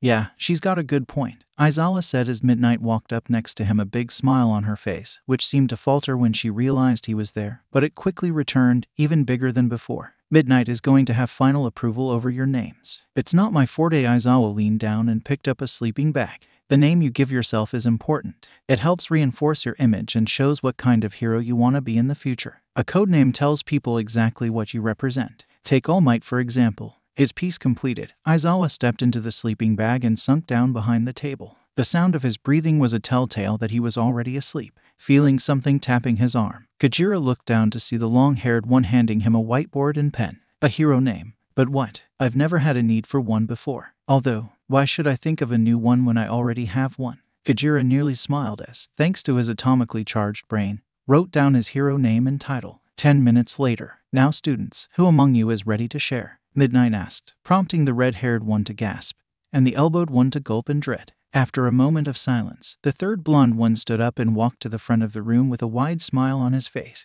Hold your breath, the shining hero. He then lifted the board as he announced his hero name.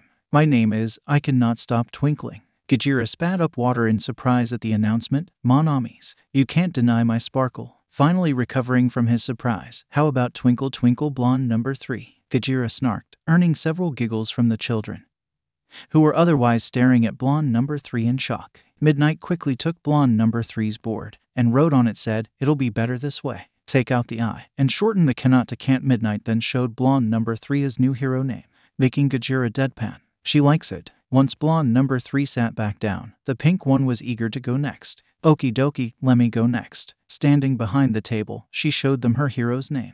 My code name, Alien Queen. Gajira nearly choked at the name, flashes of Ghidorah racing through his mind. Hold on, like that horrible monster with the acidic blood. I don't think so, Midnight said, clearly imagining something terrible. Just be happy she didn't go for the golden hydra kind, Gajira muttered under his breath, gaining a sideways glance from the weird eared one, to which he glared at her. Dang it, the pink one said as she returned to her seat. That one wasn't okay. Multiple students asked. The frog one put her hand up next. I think I've got one. Okay, if I go next. Midnight pointed at the frog one, smiling. Go right up. The frog one approached the bench, saying, I've had this one in mind since grade school. Rainy season hero, Froppy the frog one declared, showing them the board. Midnight practically slid behind the frog one. That's delightful. It makes you sound approachable. What a great example of a name everyone will love. In response to that, the children of Class 1 began to chant out the name Froppy. Froppy, Froppy, Froppy, thank Froppy. Finally, a normal one. The red headed one was next, and he slammed his board down on the bench. I've got mine too. The sturdy hero. My name is Red Riot. Midnight blinked. Red Riot. Interesting. You're paying homage to the chivalrous hero, Crimson Riot? Yes. The red headed one nodded. That's right. He may be kind of old school, but someday I want to be just like he was. Crimson is my idol. Midnight nodded. If you're bearing the name of someone you admire, you have that much more to live up to. The red headed one nodded. I accept the challenge. From that point, Gajira began to filter out the majority of noise in the room, with the exception of the hero names. Weird Ear was the hearing hero. I'm Earphone Jack. Multi armed was the tentacle hero, Tentacle. Elbow was the taping hero, Cellophane. Tail was the martial arts hero, Tailman. Lips was I'm the sweets hero, Sugarman. The pink one returned shouting, Pinky, which actually passed. Blonde number one was Stun Gun Hero, I am Chargebolt. Electric Doncha Think. Invisible was the Stealth Hero, Invisible Girl. Long Hair was the Everything Hero, I'm Creati. Todoroki was simply his first name Shoto. Bird was Jet Black Hero, Tsukuyomi. Small Insect was Fresh Picked Hero, Grape Juice. Rockhead was Petting Hero, Anima. Blonde number two originally was King Explosion Murder, which did not pass. Uraraka was Uravity. Jetted was Tenya, which surprised Gajira, but he didn't think about it. Shocking Gajira, Midoriya chose the hero named Deku. Blonde number 2 was back with Lord Explosion Murder, which again failed. Finally, it was Gajira's turn.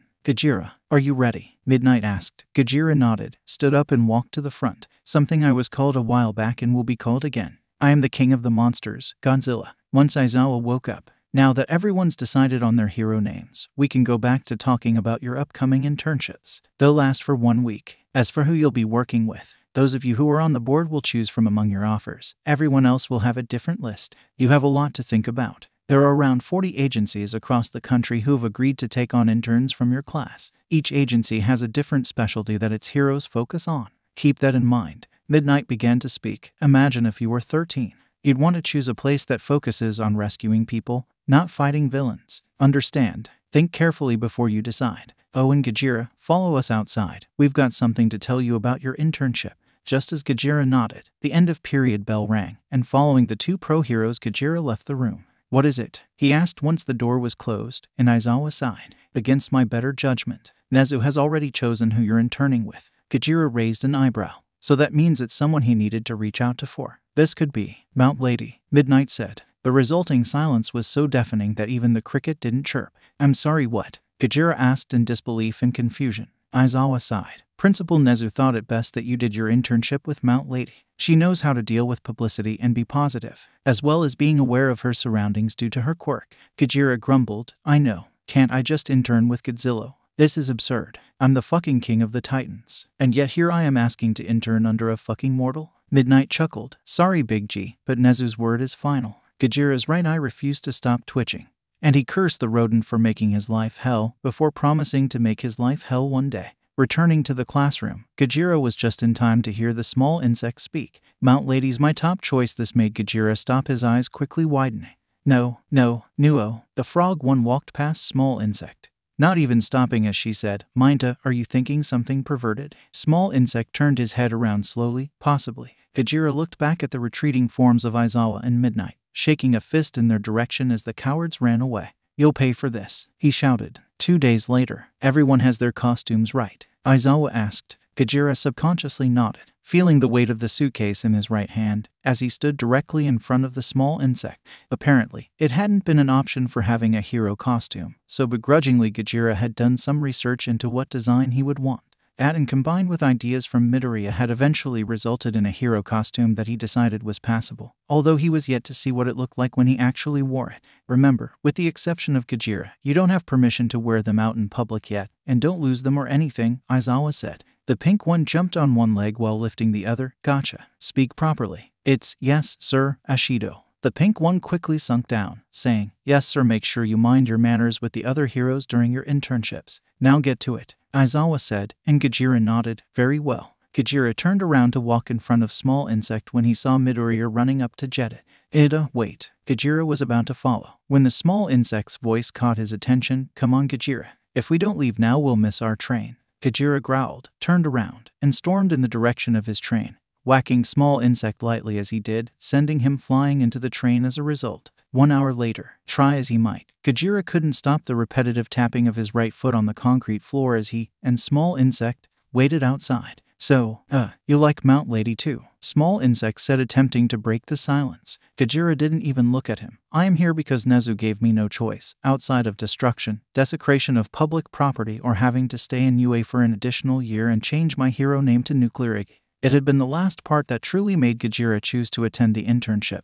He was not being called Nuclear Iggy, no way, no how. Finally, just as Gajira decided to break down the door to the Mount Agency, and blame small insect, the door opened to reveal Mount Shorty standing there eating a sandwich. As soon as she laid eyes on them, she stopped and blinked several times, her eyes flickering between the two. A moment later, she swallowed and said, Well, about time you got here. Come on in, I've got work for you. Gajira rolled his eyes, while Small Insect was drooling at the pro heroine, but nevertheless followed her into the building.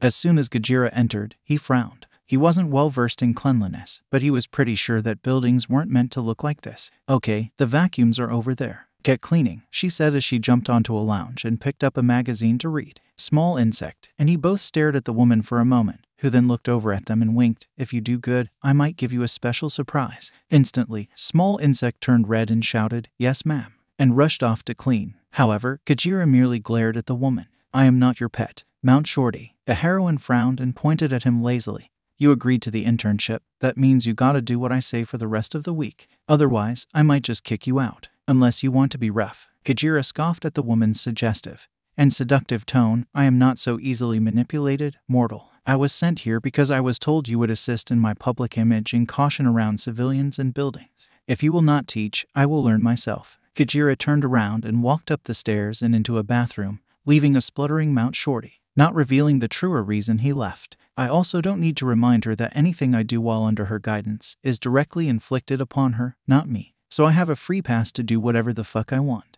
Once he found a bathroom to get changed in, he decided that he would go on patrol like he had while he still worked with Godzilla in America. It was a fun and effective way to let off some steam, while also training on the rare occasion that a powerful opponent showed up. Opening the suitcase that contained his hero suit, his eyebrows instantly raised in surprise and a hint of awe. I knew the suit would be good, but this far exceeds my expectations, he muttered as he got dressed. The suit was highly reminiscent of ancient Japanese armor, specifically the samurai, which he had requested. All in shades of black, dark navy, or atomic blue, he marveled at the attire. The top was simple a black sleeveless and skin tight shirt, with a bronze plate at the brim with the Japanese kanji for Gojira on it, while on the back of the shirt was an image of him moving in an Ouroboros fashion, the same tattoo on his back. Due to his kaijin forearms, there was nothing for his arms or the rest of his upper torso. However, the bottom half was a different story. For the pants, he had a simple yet embroidered pair of dark navy pants, not too dissimilar from what the ancient ninja wore. He also had plates of armor named Kusazuri, which protected his upper legs. There was a third piece that went down between his legs and was capped off by more bronze, while also having the same symbol from his back near the bottom, and while held up by a belt, he tied another piece of cloth around the Kusazuri with a piece of rope, attaching a blue piece of cloth which would hang down his left leg. Finally, there was a pair of armored sandals attached at the back. They appeared as him simply wearing shin guards over his sandals. They, like the rest of his armor, were not only black with atomic blue shades mixed in, but were made from scales that he shed like a person losing single strands of hair. Completely natural, meaning they were not only stronger and harder than diamonds and steel, but would channel his atomic energy exceedingly well. An added bonus was the fact that it was not only waterproof but also supremely comfortable. Gojira wasn't vain, but he did admire himself in a mirror for a moment while doing some light shadow boxing and poses to further enhance his majesticness. I'm starting to sound like blonde number three. Gojira shook his head, turned around, and opened a nearby window, before jumping out in search of entertainment and perhaps a challenge. Aizawa. Fifteen minutes later, Aizawa sighed contently as he lay on the floor. However, his relaxation would not last as the buzzing of his phone would make itself known. Grumbling, Aizawa brought the phone up to his ear and pressed accept. Hello, he asked. Uh, Eraserhead. We've got a problem, came Mount Lady's voice. Great, now what's mine to gone and done? What is it? Aizawa asked. It's Gojira. Aizawa frowned. What about him? He's gone. Motherfucker. Gojira. Be back off, man. I swear I'll do it. Gojira was currently standing in front of a villain threatening an entire block of mortals whose quirk allowed him to generate nuclear energy. Had it been any other hero, the villain likely would have gotten his ransom of 100 million lien, but sadly for the villain, Gojira eat, slept, and breathed nuclear radiation. But the villain didn't know that. Gojira scoffed. Really? The go ahead. Do it. There was no doubt in his mind that this villain was as green as his outfit, which was to say, I'm meltingly so. The hesitation, wavering voice, and terrible outfit all pointed in that direction, as did the proclamation of his quirk. The villain growled, before saying, Fine, you asked for it. Then, raising his right hand, a sphere of nuclear radiation formed, around equal in force to a missile, although the radiation would make at least half of the neighboring area unlivable. Radiation blast, the villain shouted, throwing the sphere at Gojira who didn't even move. Once the sphere made contact, Gojira grunted. It had a tad more force than he expected, but that didn't matter. Making a sucking movement, Gojira grinned as he drank the radiation the way someone would drink water with a straw or a piece of spaghetti. Once it was all gone, Gojira burped quietly in satisfaction, feeling his radiation reserves fill. While he naturally generated nuclear radiation, he would never say no to some extra. What impossible? The villain shouted in shock and fear. Gojira chuckled, seeing the absolute disbelief on the villain's face. You have no idea what's possible. Now come quietly, or do me a favor and don't. The villain scowled, never, and charged at him, his hands glowing green with radiation. Gojira merely rolled his eyes. Did this idiot even hear? Radioactive strike. As soon as the blow made contact, Gojira was sent flying up into the air and off his feet by the knockback. His eyes widened with shock as he crashed on the ground, making a small crater from the impact. What the fuck? Looking up in surprise, Gojira saw the villain grinning. Weren't expecting that, were ya? Gojira nearly shook his head. He hadn't. Standing up, Gojira moved his jaw around to check for any injuries at the point of contact but found none. As I suspected, he doesn't have the power to actually injure me, but by using radiation to augment his attacks, he was able to send me flying with the knockback. But let's see how he likes radiation. Gojira readied himself into a fighting stance against the villain, before planting his feet on the ground and slamming his tail on it. Slowly, his dorsal plates began to glow blue and a humming sound filled the air as he charged his atomic breath. The villain frowned. What are you taking a deep breath? Gojira shouted at the villain as he unleashed a massive beam of blue flames straight at the villain colliding with him. And after a moment of resistance, the atomic beam completely consumed the villain and shot off into the sky. Clamping his mouth shut, Gajira huffed and nodded in satisfaction. Turning around, he prepared to continue his patrol when suddenly something hit him square in the back, sending him tumbling. Crashing into a wall, Gajira coughed up blood, his eyes wide in shock at the pain he felt. What the fuck? Landing on the ground, Gajira looked up snarling, seeing a glowing blue figure emerge from the shadows, laughing maniacally. Wow, what a rush. I never knew someone else had a radiation quirk, much less something this powerful. Gajira's eyes widened in surprise as the radiation villain walked forward, his previously green outfit now atomic blue and flaming like the walking barbecue. He can absorb my atomic radiation. The villain then looked at Gajira as he stood up, ignoring the pain he already felt. Let's go, buddy. I want to taste more of that power. Gajira growled as the villain charged at him. Then he charged as well, roaring in anger as he did. SSSHRREEOONNNKKK. Gajira. SSHRREEOONNKKK. Gajira roared as he charged at the villain, who shouted kindly. The force of their collision created a shockwave that extinguished all nearby flames, cleared any fog and cloud, and pushed back anyone nearby. Shouting, Gajira drove his knee into the villain's stomach, before twisting his torso to toss the villain into a wall. Following quickly, he rushed the villain but was blindsided by a blast of radiation that temporarily blinded him. Almost immediately, a powerful fist drove itself into his stomach, making him spit as he was thrown back. Twisting himself in the air, Gajira landed on his feet and, using his tail to stabilize himself, glared at the villain. Surrender, the villain shouted, but Gajira bared his teeth in response. I bow to none. The villain frowned and formed a pair of atomic spheres. Nuclear strike, he shouted, throwing the spheres at Gajira, quickly charging an atomic beam. Gajira roared as the radiation erupted from his mouth, colliding with the spheres and making them explode. Closing his mouth quickly, so as to not give the villain further radiation, Gajira drove his hands into the ground, before ripping out a boulder and throwing it at the villain, who with wide eyes jumped above to dodge it. Grinning, Gajira slammed his tail into the ground to throw himself at the villain and spinning around whacked him into the earth with his tail, before rocketing to the ground himself and slamming into the villain. Once the dust cleared, Gajira reached down and picked the villain up by the neck using his tail. The villain choked and clawed at his tail in vain, and Gajira brought him closer so that he could look into the villain's eyes. You will wish you never met me, Insect Gajira said. But as he spoke, suddenly the villain grinned and grabbed Gajira's head, instinctively reaching up to tear the villain's hands off. Suddenly, an agonizing pain consumed him. Releasing the villain and dropping to his knees in agony, Gajira screamed in pain. Izuku, boy, come here. You need to see this. Izuku looked up from his notebook as Gran Torino shouted, Coming. Izuku called, rushing over to the aged hero in the living room. What is? Izuku trailed off as he saw what was on the TV. His eyes widened and an icy fear tore into his heart. Gajira was on his knees, screaming in agony as a villain he didn't recognize held onto his head, seemingly siphoning energy from him. Izuku's eyes widened further as he saw the nuclear symbol on the villain's chest and realized what was happening. He is taking Gajira's radiation. Godzilla, America. Godzilla dusted his hands off and nodded at the police as they took away the villains in chains. When suddenly his phone rang. Reaching into his pocket, he saw a text from Masui, simply reading, You need to see this with a link attached. Frowning, he pressed the link, and instantly his eyes widened in shock. Gajira. The man hummed as he watched the fight between Gajira and Radiant. He had expected Radiant to challenge Gajira, not outright put him on his knees. Kyudai, what is this? He asked. I believe that Radiant is forcefully taking Namuji's radiation causing him immense pain in the process. However, this may be a blessing in disguise. No one has challenged Namuji in such a way so far as Radiant is. This may force him to dig deeper than ever before have the bomb ready to detonate at a moment's notice. Namuji is far too valuable to lose to someone like Radiant. But do not detonate unless I tell you understand.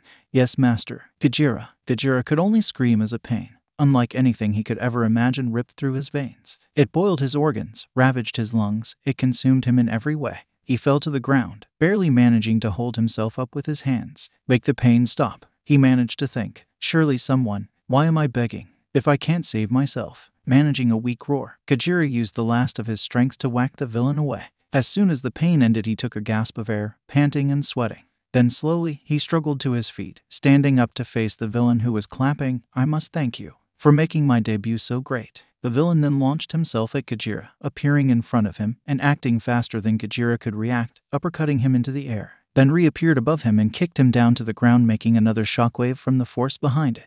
Gajira gasped as the air was knocked out of him, and blood and spit erupted from his throat. Shit, this guy's too strong. I can't beat him. As Gajira looked at the villain who was dusting off his hands, he tried to stand but found the effort void, and as his vision went dark, he was only left with one thought I'm lost. Father, you can't lose now. Fight on. Fight for me. No, don't. Together we shall stand. Forget the sins of the past and move forward. You are weak. You cannot even protect those you call your family. I only bow to the strong. Tell me, Alpha, are you strong? Long live the king. His eyes snapped open as words, as voices from the past shot through his mind. J.R., Minilla, the Winged One, himself, the rival, Ghidorah, the Flaming One, and then the voices of all his allies roaring alongside that of humanity. And as the villain turned his back on him, with renewed strength he stood, and he clenched his fists as blue flames erupted from them. Izuku. Izuku's blood ran cold as ice as he stared at the prone figure of Gajira, his costume in tatters, his chest completely bare, tears already falling down his face,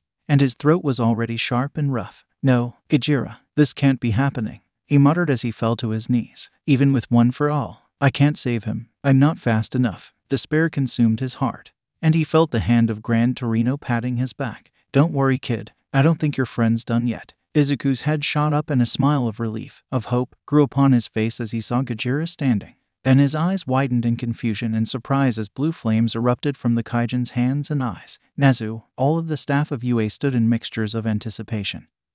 Hope and dread as they saw Gajira stand. The sounds of scraping chairs accompanied this, as well as a growing smile on Nezu's face as he saw blue flames erupt to life in both Gajira's eyes and hands. I think we're about to witness one hell of a show. Nezu crackled in excitement already recording the video. Godzilla, America. Godzilla's grin was all teeth and relief as he watched Gajira stand. Albeit, with a stumble, he still stood. That's it. Show them. He muttered a shiver of excitement creeping up his spine. His grin could only grow wider as he saw blue flames erupt to life in Gajira's hands and eyes. Show them that a kaiju bows to none. Gajira. Gajira opened his mouth and growled lightly, his breath steaming against the cold, crisp air, a faint blue light illuminating it. Clenching and unclenching his fists, he continued to direct his atomic power into them, into him. His sight was brighter, his hearing sharper, his smell greater. It felt like all that he was, all that he is, had awoken once more. Every sense was amplified, every muscle strengthened. He felt more alive than he had ever before, and it was so much more. He could see everything, every stone on the ground, every hair on the villain's neck. He could see the airwaves. He could see the hot and cold, and he could see the radiation that flowed around him, within him, and within the villain as well. He was one with nature itself. Izuku. Izuku could only watch on in awe as Gajira stood, for not only were blue flames erupting from Gajira, but his very body was changing. The black scales that covered Gajira's forearms grew to cover his entire arms, as well as the sides and bottom of his chest, leaving only his abs and chest bare. His back was covered in scales as well, and as Izuku watched dorsal plates, the same as the ones on Gajira's tail, grew out of his back in three rows, the ones on his upper back being the largest of all. The rows continued up Gajira's neck and to the top of his head where they vanished into his long black hair. Gajira's eyes were completely red and slitted. Black scales covered the sides of his face, as well as under his eyes, which also faintly glowed atomic blue, just like the interior of Gajira's mouth. His teeth became serrated, sharpened, the teeth of a predator and he grew taller, moving from 7 feet to 10. His tail lengthened and thickened as well, going from 10 feet to 14.8.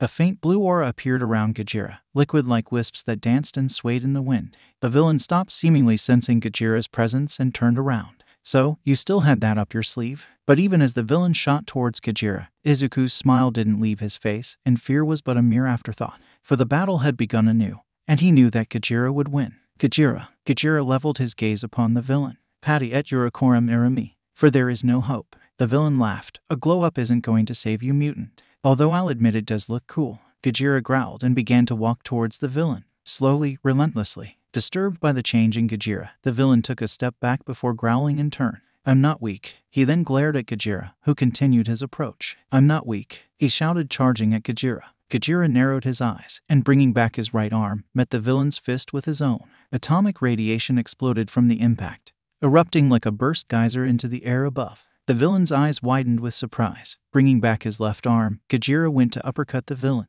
However, the villain grabbed his fist and brought them to a standstill, both fighting for dominance over the other. But the stalemate didn't last long, as Gajira brought his tail up and slammed the villain in the side, sending him tumbling across the ground. Gajira hummed in amusement, looking at himself for a moment. Interesting. This form is far more similar to my true form to my Kaijin form and far stronger. Looking up, Gajira saw the villain lifting a building sized boulder and with a yell tossing it at him. Eat this, Gajira scoffed. And taking a deep breath, released a massive beam of atomic energy straight through the boulder, destroying it completely. However, the beam didn't last a second more, as Gajira gasped as the villain drove his elbow into his chest, knocking the wind out of him. Stumbling back, Gajira gasped and growled as the villain's grin returned to his face. You're not invincible then, with a shout, he charged at Gajira, who narrowed his eyes and mirrored the villain's movements. Once they met, the villain's hands became a blur as he unleashed a barrage of punches onto Gajira. Quickly raising his own hands, Gajira did what he could to defend against the seemingly endless blows. However, slowly he was driven back, the ground at his feet cracking and breaking from the force of the villain's strikes. How? How is he pushing me back?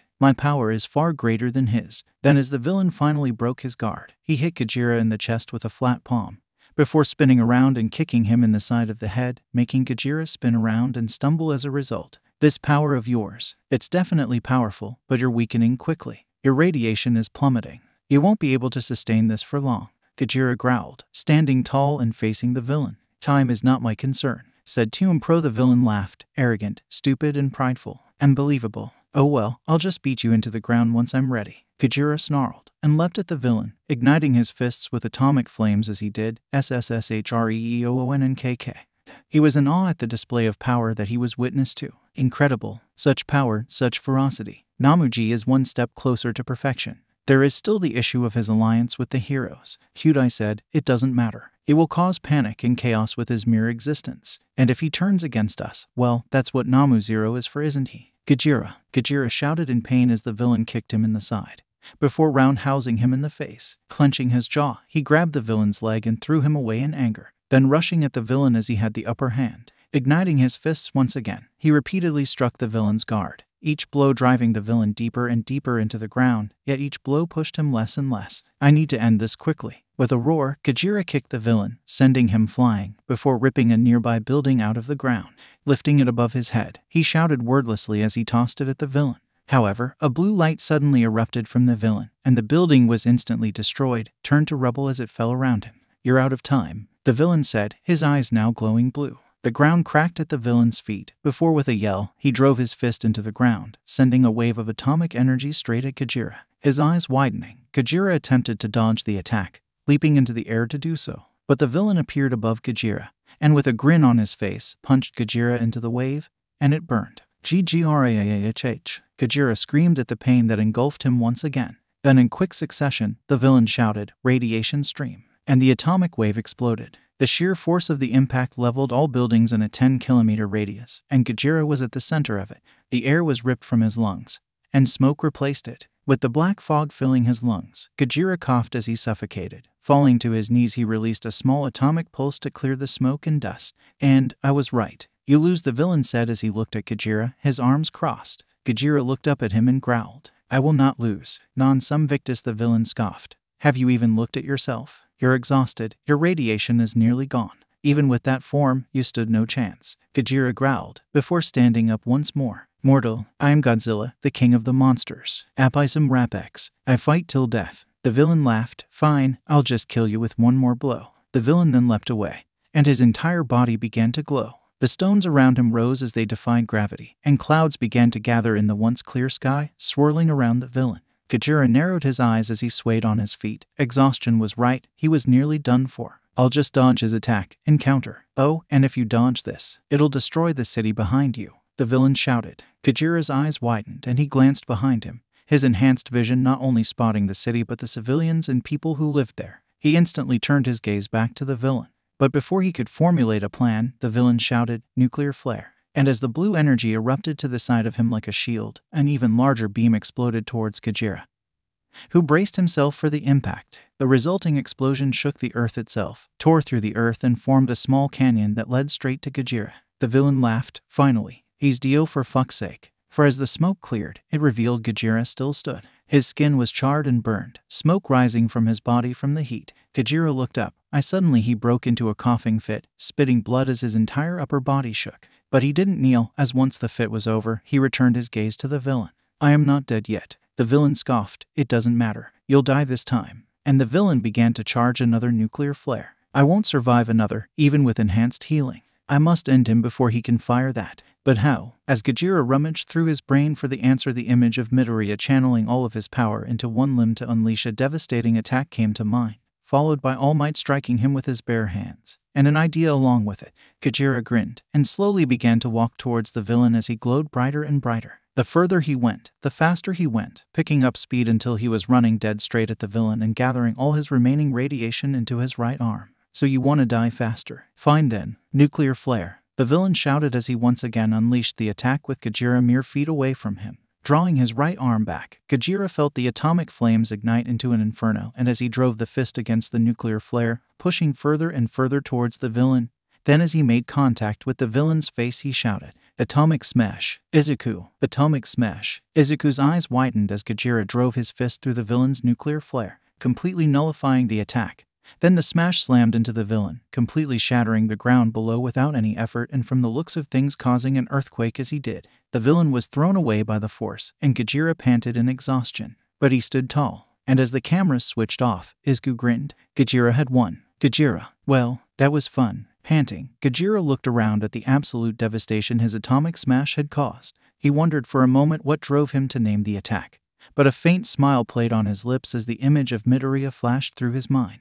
Standing tall, he cracked his back and shoulders as he wiggled them around. Today had certainly been far more entertaining than he expected, but as he turned to return to Mount Agency and get some rest, he heard the shifting of rubble behind him, spinning around. Gajira groaned in annoyance as the nuclear villain was standing once again. But this time, his outfit was green. I'm not done yet, the villain shouted as he charged at him. Casually, Gajira raised his right arm and grabbed the villain's fist, shocking him. What? In the same manner, Gajira lifted the villain over his head and swung him around before tossing him 20 feet into the air. Then, almost without effort, he whacked the villain into the ground as soon as he was in range. You are out of atomic radiation. Stultus pure. Looking down at the villain, he planted his right foot onto the villain's chest, saying, Bow down, and you will not suffer. Did Ishinomete finds the villain growled, Never. I'd rather die. Gajira scoffed, Then you will. Lente Sidolans the villain's eyes widened as Gajira's tail wrapped around his throat and after stepping off the villain, he began to smash him repeatedly into the ground, again and again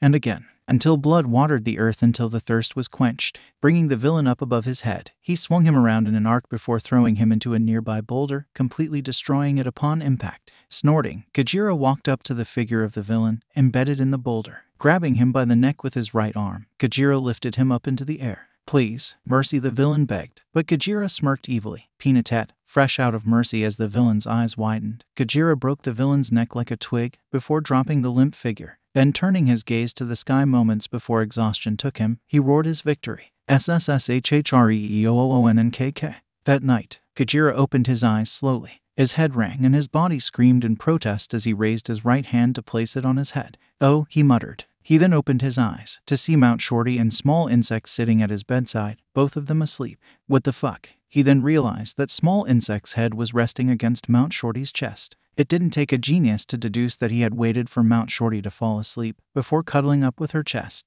His already low opinion of Small Insect fell even further. Gajira proceeded to glare at Insignificant Worm. He then noticed that he was back in his Kaijin form, and he grumbled unhappily. Here I was thinking I gotta keep that form. Oh well, what's done once can be done again. Now that he was awake, Gajira took a deep breath and focused his healing abilities on one limb at a time, until eventually the soreness of his limbs and muscles was completely gone, sighing contentedly. He suddenly grinned as an idea formed in his mind. Looking around, he spotted a phone which he quickly swiped using his tail. Strangely enough, it was unlocked and brought to him. Then he took a photo of Insignificant Worm and Mount Shorty before sending the image to the rodent and Aizawa with the words, Blackmail of insignificant worm in Mount Shorty is attached. He received a smiley face from the rodent and a thank you from Aizawa. He then proceeded to delete the numbers on the phone and return it to where he found it.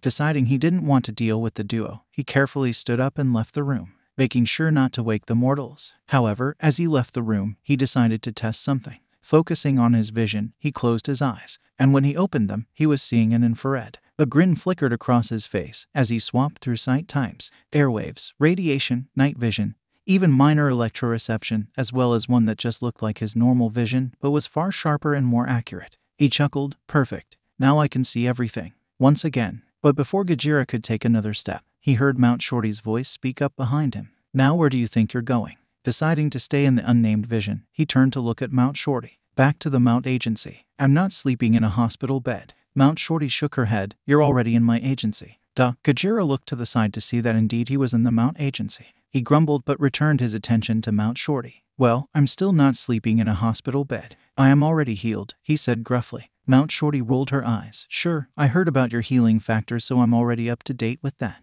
What I mean to say is, why didn't you wake me up? Gajira deadpanned, didn't want to. This made Mount Shorty yelp and yell, You don't need to be so mean about it. Gajira raised an eyebrow, and Mount Shorty sighed, Look, I'm sorry, I should have gone with you and actually taught you. But I got caught up in my laziness and I got you hurt, and now dozens of people are homeless. Gajira turned his head and put a hand to his ear. Sorry, didn't hear that. Why do you say? Mount Shorty growled, grabbed him by the ear, and shouted into it, I quote him sorry. Gajira chuckled and after pulling Mount Shorty's arm away from it said, Don't need to shout. Oh, and if you're really going to teach me, don't teach insignificant worm. Mount Shorty frowned for a moment before understanding dawned on her and she pointed in the direction of insignificant worm. Oh, okay. Gajira. Two days later, Gajira was crouched on top of a skyscraper, looking down at the city of Hosu. After receiving a message from a worried Midoriya, Gajira had asked permission to patrol Hosu that night, suspecting the hero killer stain was present.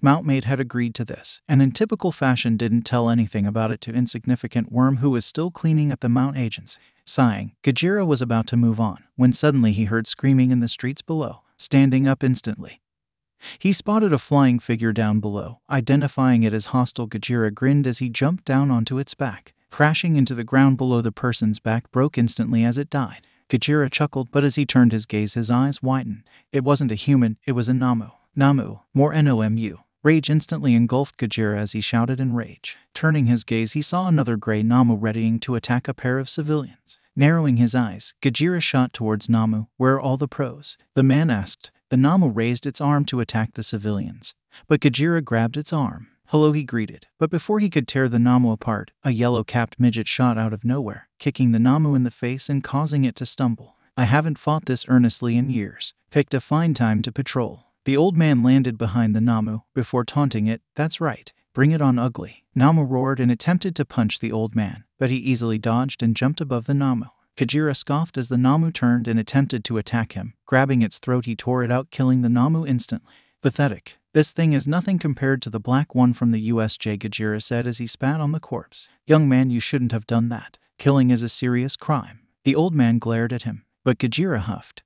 That implies it was alive in the first place. That thing was a walking corpse. The old man raised an eyebrow and Gajira evaluated. It has no intelligence. It's merely an above average animal. Thus, it's not human. Before the old man could respond, a familiar voice spoke. I was looking for the elusive hero killer, but I found you instead, Gajira. And thanks, old timer. I'm afraid I don't know you. However, Gajira turned to look at the approaching form of Endeavor and held up a finger. Use my hero name, Endeavor. Godzilla. Endeavor raised an eyebrow but shrugged. Fine. Godzilla. Whoa, look. The male civilian said. Why's he in Hosu? The female asked. HMPH, isn't it obvious? I came because I'm a hero. Gajira scoffed, and I'm here to look for a fight. Endeavor, these Nomu are of the same species as what I battled in the USJ. I suspect the gray ones are far weaker than their black counterparts, but be cautious regardless. I can already smell more Nomu in Hosu, so I'll go and have fun now. Izuku, where are you? Tenya. Izuku stopped instantly as he heard the shouts of a male hero. Turning, he rushed towards the source, and as he rounded a corner, he was met with a scene from his nightmares. Standing in front of him were two Nomu,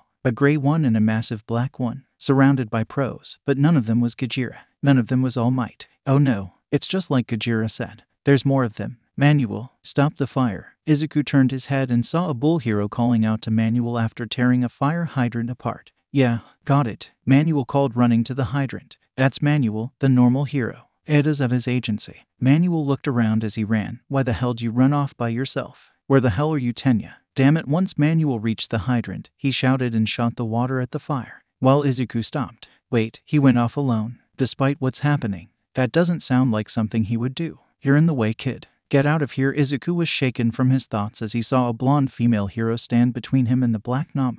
Right, I'm so sorry. We can hold these things back on our own. Evacuate with everyone else. Izuku was about to nod when Manual interrupted. I could have used the extra hands. I can't believe Tenya would run off with such a huge disaster right in front of him. But then, something clicked and Izuku's eyes widened. Hosu City. Guys who look like Nomu. Iida, Hosu, where the hero killer attacked. Don't tell me. Turning around, Izuku rushed off, hoping that he was wrong. Gajira. Gajira continued to run towards the scent of the Nomu, excitement bubbling in his veins. Finally, turning the final corner, he was met by the sight of two Nomu, one gray sadly, and one black. A grin grew on his face, and before he stepped forward, an explosion erupted from a crushed car. Crap, what do we do now? A ninja themed hero asked, Are these really men? Or are they actual monsters? Another asked. Gajira chuckled, deciding to make himself known as he walked out of the shadows. They are neither man nor monster. They are savage brutes with no sense of self. As such, I will end them. One of the heroes turned to face him. What? Who are you? I am Godzilla, the king of the monsters, he answered simply. At this, one of the pro's eyes widened. I remember you.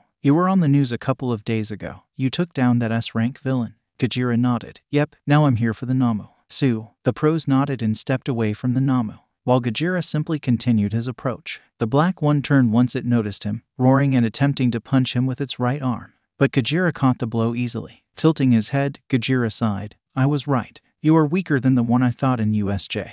Oh well, you'll die the same. Then in one move, he tossed the black Nomu into the sky and into the flying gray one. Quickly charging his atomic energy, he grinned before shouting, Atomic breath. Tomura Shigaraki. Tomura laughed as he watched the devastation in the streets below. The Nomu make such great playthings. Behind him, Kurogiri asked, Are you not going to participate in the fight? Tomura shook his head and put his left hand on his right shoulder. Don't be stupid. I'm still injured. That's why I bought those pets with us, he said, remembering his earlier conversation with Master and his surprise when the master gave him not one, but five Nomu. Spreading his arms, he laughed maniacally once this night is over. The world will have forgotten you ever existed, hero killer. But as he continued to laugh, suddenly a pillar of blue light erupted into the air, cutting him off. What wait, I recognize that beam. Don't tell me. He's here. Tomura shouted in shock as the atomic beam soared into the night sky, vanishing. This complicates things, Kurogiri muttered behind him. Gajira. Gajira grumbled as he kicked the ashes of the Nomu.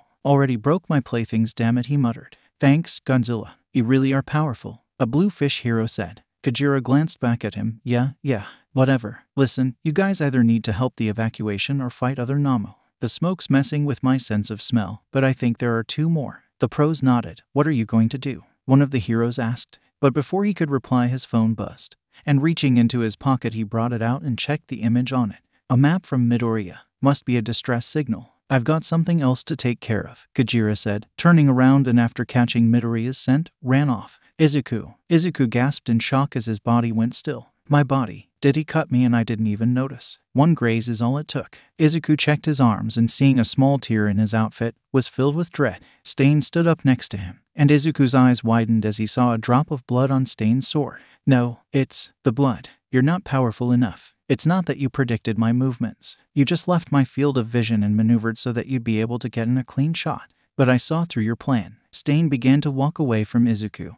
There are countless false heroes around here who are all talk, but I think you're worthy of staying alive. You're different from these two. Stain stopped as he arrived at Iida's paralyzed body and raised his sword over his head. Wait, don't. Stop it. Izuku cried, Get away. Suddenly, a pillar of fire erupted from the street shooting towards Stain, who leapt away from it in evasion. Someone else got in my way. Today's been full of distractions, Stain said. Izuku looked at the source of the fire, and a smile spread across his face as he saw Todoroki standing there. Midoriya, you need to give me more details in times like this, Todoroki said, holding up a phone displaying the message he sent them. I was almost too late to stop this guy. You too, Todoroki. Tenya asked in disbelief. How'd you get here? Izuku asked, before realizing with shock that Todoroki was using fire. Hold on, you're using your left side. Todoroki ignored him. How'd I get here? Good question. Your message took me a while to figure out. Next time, try to send more than just your specific location. But you're not really one to send cryptic messages without a reason, are you? A wave of ice then erupted from Todoroki's right leg, moving them all away from Stain. So I figured you were in trouble and asking for help. Everything's okay. The pro heroes will be here any minute. Todoroki shouted, charging at Stain while shooting a ball of fire. You're just what they said you were. But you won't be taking any more lives, hero killer, Todoroki said. Using all the strength he could, Izuku turned to watch the battle between the two. Todoroki, you can't let that guy get your blood. I, I think he controls his enemy's actions by swallowing it. That's how he got us. He ingests blood to keep people from moving. That explains the blades. All I've got to do is keep my distance, Todoroki said, before narrowly avoiding a knife that went for his face. You have good friends Ingenium. Or you did, Stain shouted, twirling the blade around to slice Todoroki in half, only for Todoroki to block it with a wall of ice. Together they both realized the same thing as they looked up his sword. Todoroki said. He threw it at the same time as the knife. Suddenly, Stain grabbed Todoroki and attempted to lick the blood off his cheek, but acting quickly, he summoned flames that made Stain jump back. He's strong, Todoroki muttered as he threw more ice and fire at Stain. Just stop it. Why are you doing this? His fight is with me. I inherited my brother's name. I'm the one that should stop him. The hero killer is mine. Iida shouted, You're Ingenium now. Strange. The Ingenium I knew before never had that look on his face. You've got a dark side. Guess my family isn't the only one, Todoroki said. Careful, Todoroki, Izuku shouted, trying to move. When he felt his arm twitch, huh, suddenly, the ice that Todoroki had made to block out Stain was sliced to pieces. It blocked your own field of vision against an opponent who's faster than you. Rookie mistake. Stain said, Come get me then. Todoroki challenged as his left arm erupted into flame. Yet the next moment, two daggers were embedded in his arm. Looking up, Izuku saw Stain moving down towards the pro hero. You're good, kid. Unlike him, Izuku tried to stand, but he couldn't. Watch out, Todoroki shouted. Without warning, a car was thrown at Stain, knocking the hero killer away. Izuku's eyes widened, and as he turned his head, he smiled, hearing the familiar voice. Honestly, Midoriya, I leave you alone for three days and this happens? I'm disappointed. Gajira, Gajira, Gajira took in the scene before him. One down, Midoriya. One down, jetted one, a pro he didn't recognize. Also down, Todoroki with two daggers in his left arm, not down. And a vicious hero killer. Yep, everyone was here. You, you're that guy from the news two days ago. The one who fought Radiant, the villain said. Gajira nodded. And you are the hero killer. Brain right? He asked. The villain frowned. Stain. Gajira nodded. Sure thing, lame. Out of the corner of his eye, Gajira saw Midoriya get to his feet. I'm not sure why, but I'm able to move now. Midoriya said. Gajira raised an eyebrow. Paralysis. Midoriya nodded. By digesting blood, he can paralyze others. Todoroki nodded. So he has a time limit that kid should have been the last one to be freed. I still can't move a muscle. The pro hero said. I've got three guesses why. His quirk could be less effective the more people he uses it on. The amount ingested could play into how long it works, or there could even be a difference based on a person's blood type. If it's the last one, I'm blood type B, the pro said. I'm type A, the jetted one said. While Gajira just shrugged, no idea. Stain grinned, so, you figured it out. Bravo, very impressive. It doesn't really help us that much to know how his quirk works, though. Midoriya said, I thought we could hurry and carry those two out of here, but it's no good. He's too fast. He can dodge ice and fire. I'd have to leave myself unguarded. Our best option is to hold until the pros arrive and avoid close combat. Todoroki said. Gajira frowned. You forget I'm here. Todoroki, you know you've already lost way too much blood. I'll distract him while you support Gajira from behind. Sounds like a plan. Gajira shrugged. I was just going to fight him head on. But I'd be damned if I let this punk paralyze me. Stain narrowed his eyes. Three against one? That's not very fair. Gajira scoffed. Fair. Yeah, right. Call murder fair. Actually, don't answer that. Stain blinked at him in slight confusion, but as the green lightning of full cowling appeared around Midoriya, Gajira smirked watching the boy become a blur as he bounced around the narrow alley like a pinball. Clenching his fists, Gajira sent a small wave of atomic radiation through his body, and almost instantly the blue wisps began to rise from him. His eyes glowed blue, as well as the inside of his mouth. Let's go lame, Gajira shouted. Shooting towards the hero killer, Gajira blocked the villain's katana using his right forearm. The collision produced several sparks, and the hero killer's eyes widened in surprise moments before Gajira uppercut him and sent him flying back. Surprised, blades don't work on my scales. I've nullified your greatest weapon. As the hero killer landed on his feet, Midoriya rushed him, forcing him to dodge. No, stop, this is my fight. The jetted one tried to protest, but glancing at him, Gajira stated, You'd be dead if it was boy. You and that pro. This isn't your fight. Then turning back to Stain, Gajira flinched as he saw Midoriya become paralyzed again. For the love of me, he muttered in agitation. Todoroki get Midoriya and protect him and the others until they can move again. I'll deal with the hero killer Todoroki nodded. And without a second thought, Gajira charged at the hero killer. I'm nearly impressed. You managed to hit my students, Gajira said as the hero killer dodged another one of his attacks, before blocking his blades with his forearms. Grunting, Gajira pushed the villain away repositioning himself to stand between him and the others. But the fact I'm a murder means you're not. The hero killer asked. Gajira shook his head. Nah, that doesn't mean squad. I mean, I've killed two. Except they were villains and Nomu, not heroes. No, I'm angry because you hit my students, people I bother to acknowledge with their actual names. People who have somehow earned my respect. People that I could call a friend. I'm not some selfless hero, and I'm not trying to be. I'm just going to beat the shit out of you because you hurt Midoriya and Todoroki. And that's it. The hero killer's eyes widened, and an intrigued stare broke out on his face. You're not even trying to be a hero. You're more like an anti hero or a vigilante. Gajira shrugged. Yeah, but I refer to my previous statement. Without another word, he charged at the hero killer, who left behind him, his sword ready to slice Gajira's back. Since you're not pretending to be a hero, I'll let you live. But I can't have you interfering with my quickly charging his tail with atomic energy, Gajira said. Atomic tail and whacked the hero killer into the wall, cracking the said wall from the impact and leaving the hero killer dazed and wide eyed. Gajira, Midoriya, Todoroki, Jetted One, and the pro hero all blinked at the hero killer for a moment, attempting to process what just happened. Uh, think we won, the pro hero said in disbelief. Meanwhile, Gajira slumped over in disappointment. Damn, too much atomic radiation. He then felt the eyes of the others move to him. Atomic radiation. Midoriya yelped. Gajira groaned. Great explanations. Hooray. The next morning, Gajira grumbled as he walked through the hospital room's open door. Damn my mouth. Now I have to explain my radiation to Midoriya.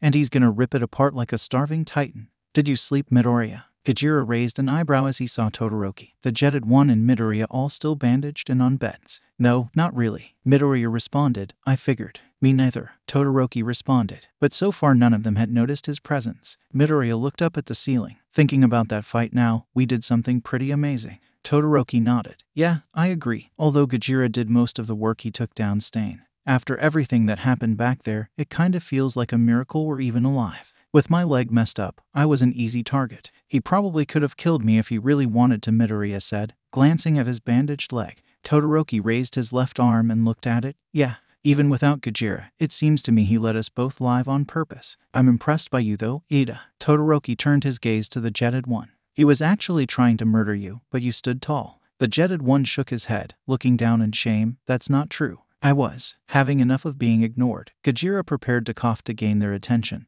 When he heard footsteps behind him, silencing the children, who finally noticed him. But it was the duo behind him that spoke first. Oh, so the injured youngins are awake. The old man said, walking forward, Gran Torino, Gajira. Midoriya greeted, and Manual too, the jetted one said. The old one glared at Midoriya, walking over to him, idiot. I could yell at you for hours right now. Midoriya leaned back, slight fear and dread mixing into his expression. Yeah, I'm sorry, but before I do, you've got a visitor. Gajira glanced behind him as an unfamiliar scent entered the room marked by a dog person who stood as tall as himself. This is Hosu's chief of police, Kenji Tsuragamae. Gajira raised an eyebrow at the name and instantly decided to call the police. Dogman. The children went to stand up, but Dogman stopped them. No, please, stay seated. Woof. Woof. So you're the UA students who brought down the hero killer? Huh. Dogman asked, observing each of them one at a time. More or less, Todoroki answered. Stain has some serious injuries, severe burns, and several broken bones. Right now, he's in the hospital under strict guard. Woof. Here's a lesson you should have already learned.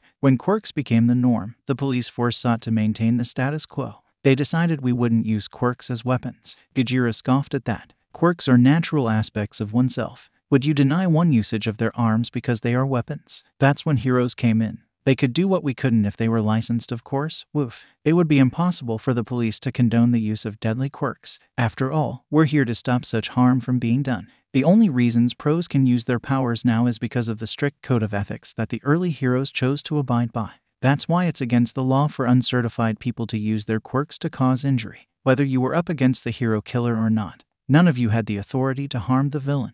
That means the four of you, and your supervisors, Endeavor, Manual, Mount Lady, and Gran Torino, should receive harsh punishments for this gross abuse of your powers. Particularly you, Gajira. You battled Radiant two days ago, causing severe amounts of damage to public property in the process. Gajira rolled his eyes at Dogman's long speech. Of course, Mount Maid's seduction tactics don't work over here. Man, now wait just a minute. If Iida hadn't stepped in, Native would have been murdered. And if not for Midoriya, both of them would be dead. And if not for Gajira, we all could have been dead and the hero killer free, not even mentioning all those Radiant could have killed. No one else even realized that the hero killer was in Hosu. Are you saying we should have just stood by and watched people die? Todoroki growled, stepping angrily towards Dog Man. Calm down, Midoriya said. So it's okay to break the law as long as it goes your way. Dog Man responded. Gajira again scoffed. The law didn't stop the hero killer, nor did it stop Radiant. I did, we did, Dogman. Gajira turned to glare at Dogman in the eyes. Dogman? The police muttered. Where were the pros when Radiant appeared? Where were the pros when the hero killer tried to kill the jetted one? I'll give you a hint. Not fucking there. Gajira growled. Wait a minute, kid. You'll want to hear him out till the end.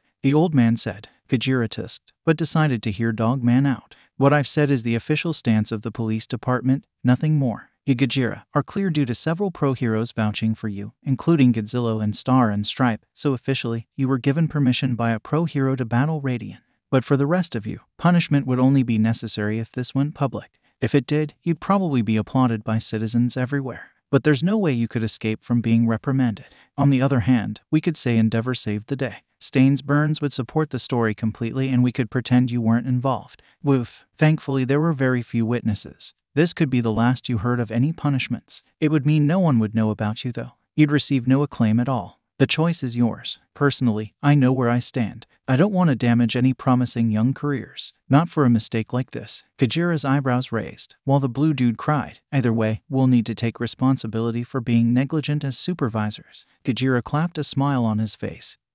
So no extra attention and no punishments. Deal. The dog man nodded a faint smile on his face, while the jetted one walked up to the blue boy and bowed. I'm sorry. I should have listened. Blue boy nodded. Yeah. You caused us a lot of trouble. Remember that, and don't do it again. Jetted one somehow bowed even lower. Sir. Turning around, Gajira saw Midoriya bow his head, and, I apologize as well. Gajira narrowed his eyes and whacked Midoriya in the back of the head with his tail. Oh, what the heck was that for? Midoriya cried to which he responded, Don't bow your head. It shows weakness. Me, too. We'll leave it to you. Todoroki said, bowing slightly to Dogman. I know it's not fair. You won't enjoy any of the fame and praise you probably would have received otherwise. But at least, allow me as the chief of police. Dogman then bowed to them to thank you. Todoroki huffed. You know, you could have started with that. Gajira nodded in agreement, would have saved some time. Forty minutes later, Gajira sat in the hospital room with Todoroki and the jetted one waiting for Midoriya to finish his conversation with Uraraka over the phone.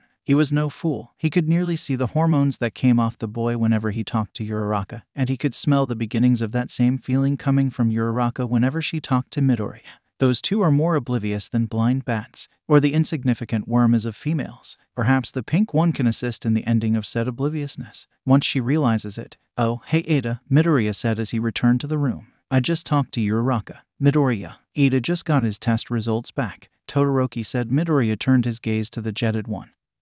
Who said, My left hand might have damage that's permanent. Midoriya's eyes widened. What? Permanent? The jetted one nodded. Both my arms were pretty torn up, but the injury to my left arm was especially severe. There was damage to my brachial plexus, which just means I'll have trouble moving my fingers, and my hand might have some numbness. Apparently, there's a chance it could be healed with nerve transplant surgery. When I came across the hero killer, I stopped thinking rationally. The first thing I should have done was call Manual. But I got lost in my own anger. I hate him so much, but I can't deny he spoke the truth. That's why until I'm able to call myself a real hero, I'll leave my left hand as it is. Gajira nodded, while Todoroki looked at him unsurely. Are you sure? While the jetted one looked at his left arm, Midoriya spoke up, It I feel the same way. My hand is a reminder, too. Gajira glanced at Midoriya's scared hand during the sports festival. Despite Gajira's training and full cowling, Midoriya had been forced to use his full power on several occasions, which resulted in the scarring of his right hand.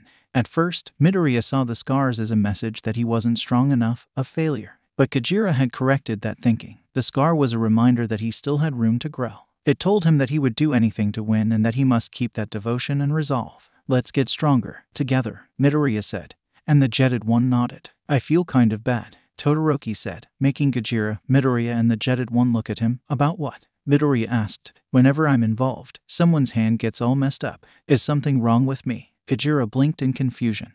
And after a quick glance at Midoriya and the jetted one saw they shared his confusion. Am I cursed? Todoroki wondered, glaring at his own hand. Shortly after both Midoriya and the jetted one burst out laughing. Todoroki, I didn't know you had a sense of humor. This isn't a joke. I'm like the hand crusher or something. Todoroki's response resulted in Midoriya.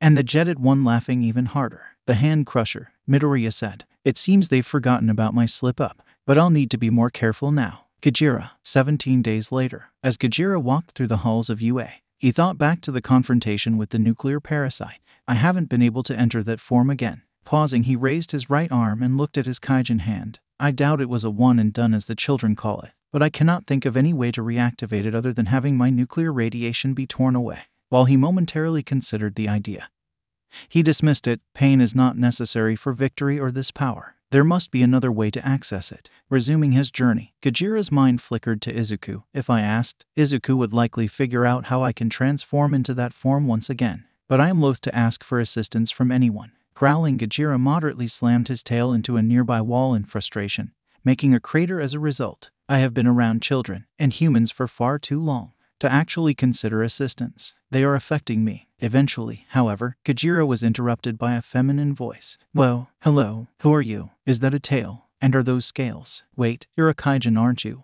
Is it your quirk? You're so tall. Gajira flinched in mild surprise as a periwinkle haired girl appeared in front of him, her voice bubbly and curious, and infuriatingly fast. What? Gajira replied, looking down at the curious one who was now poking his biceps with wide eyes and an amazed expression. Well, it's like you're made of steel, she said in awe. What? He repeated, but the curious one ignored him before she began to poke his abs. You could sharpen swords on these abs. She continued, a faint blush appearing on her face. Now Gajira was deadpanning, a small tick of annoyance quickly forming. She's got the UA uniform, so I can't kill her. Gajira thought in irritation, but the rodent didn't say anything about physical injury, he realized, remembering all the times he had punted the insignificant worm with his tail because he was annoyed. Surprisingly, insignificant worm was rather durable. So without another word, Gajira raised his tail behind the curious one's head and whacked her, causing her to slam headfirst into his abs, all the while he looked down at her in disdain. Oh, the muffled voice of the curious one was heard, and Gajira said, Leave me alone with that. The curious one slid down his chest,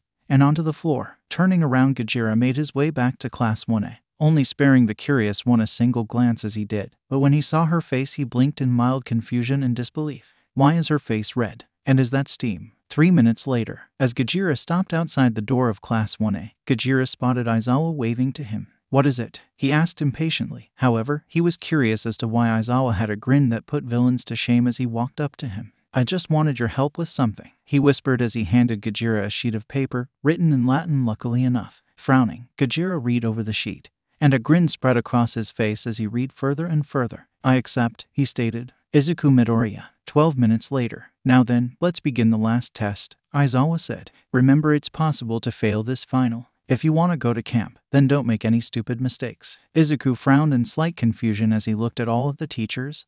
Why are all the teachers here? Jiro said, voicing Izuku's thoughts. Because it was true, Aizawa, Midnight, Cementos, Present Mike, 13, Ectoplasm, and Power Loader were all present. I expect many of you have gathered information and believe you have some idea of what you'll be faced with today. Aizawa continued ignoring Jiro's question. We're fighting those big all-metal robots. Denki shouted while Mina raised an arm in excitement. Fireworks. S-Moors. Here we come, camp. The pink-skinned girl shouted. However, both were silenced by Gajira, who walked up behind them and whacked them in the back of the head in quick succession with his tail. At the same moment, Aizawa's scarf began to move. Actually, this year's test suddenly Principal Nezu emerged from Aizawa's scarf with a hand in the air will be completely different for various reasons. Jiro, Ojiro, and Sero all gasped, Principal Nezu. While Momo sweated in distress, you're changing things. Nezu nodded. The tests now have a new focus. There will be hero work, of course, but also teamwork and combat between actual people. Then pointing at them, Nezu's face became shadowed. So what does that mean for you?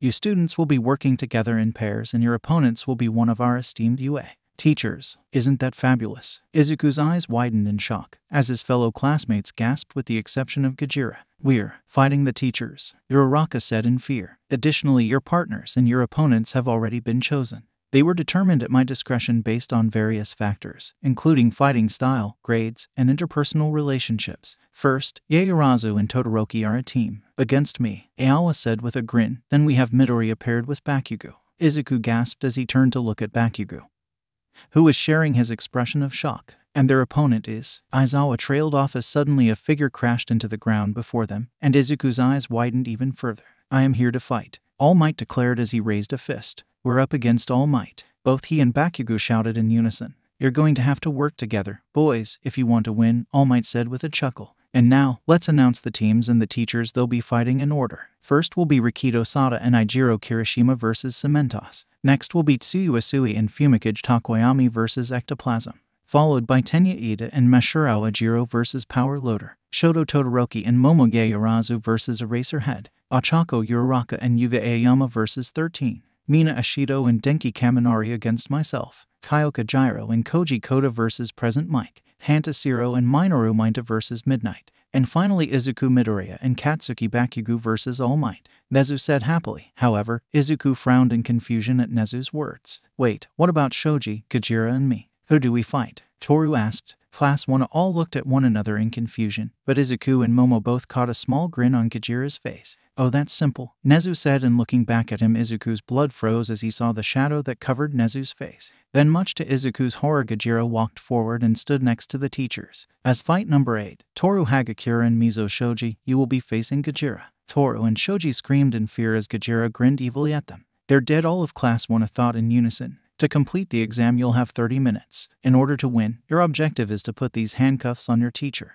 Nezu proclaimed as he held out a pair of handcuffs. Where you can win if one of you manages to escape from the combat stage, Nezu explained. So we've either got to capture the teacher or run away. It's basically like the combat training. Denki said deep in thought. Yeah, right. You aren't the ones fighting fucking Gajira. Toru shouted in such fear that Izuku could literally see the seat of the invisible girl. Yeah, but is it okay to just jet? Nina asked, and Nezu gave her a thumbs up. Yup, it's gonna be much different than that combat training y'all went through earlier. After all, you're up against people way better than you better. Really? Jiro said in disbelief. Wait, aren't you just the announcer? She asked. Hey, watch your mouth, girl, have some respect. Present Mike yelled. This time, your exam will be very similar to a real battle. 13 said, As strange as it is, please think of us as villains. She continued. Class 1 all looked at Gajira, thinking not a problem since Gajira's grin was all teeth as he spoke. In the real world, when you meet someone you think you can fight, then fight to your last breath. But, in instances where you're outmatched, it would be smarter to run away and find help.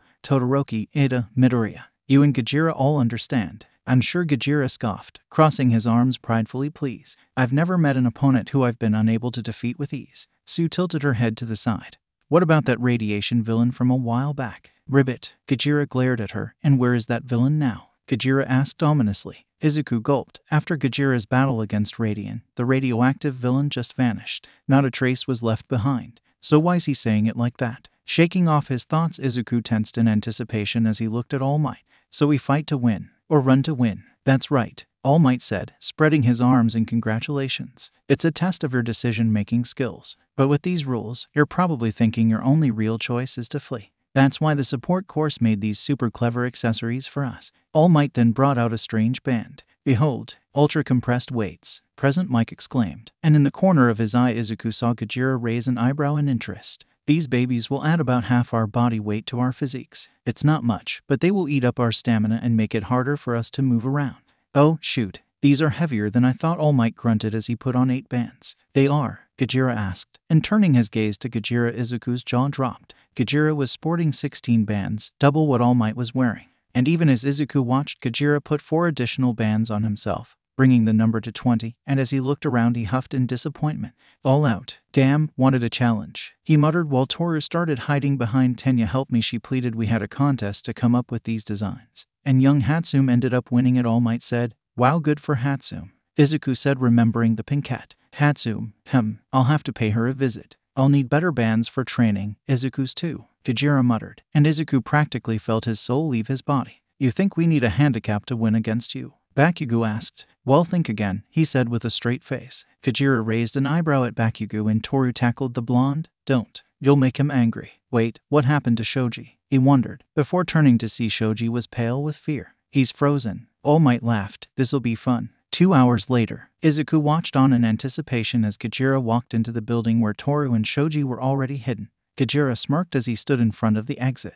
Begin. Nezu's voice called. A buzzer sounded and Gajira didn't even move an inch, instead just opting to stand where he was and wait.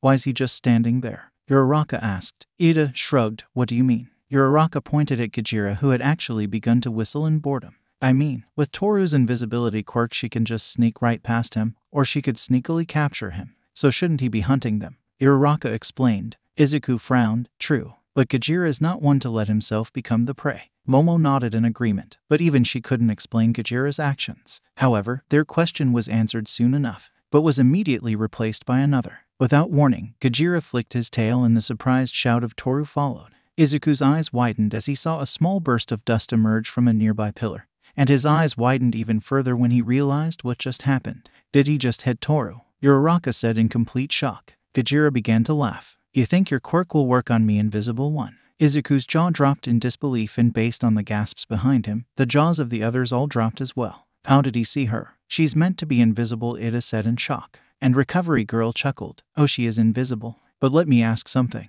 What does invisibility do? Momo frowned. It makes someone undetectable to the naked eye. Recovery Girl nodded. So that gets rid of one natural sense. How many does Gajira have? Izuku's eyes widened. He can smell her. He muttered and Uraraka shivered. Hold up what? He smells her, she said in slight disgust. Recovery Girl chuckled. Gajira's mutation quirk enhances his senses to the point where it's a quirk in itself. Enhanced vision, sensitive touch, taste, hearing, and smell. Momo nodded in understanding. Gajira is detecting her with his other senses, hearing and smell. Uraraka returned her vision to where Gajira was pointing to where they presumed Toru was. I can smell everything in this room, and I can hear everything within as well. Every breath you take, every step you make, I can hear like the clearest of waves. Your quirk is worthless against me, Gajira said. It certainly helps that Gajira can change his vision type. Recovery Girl added.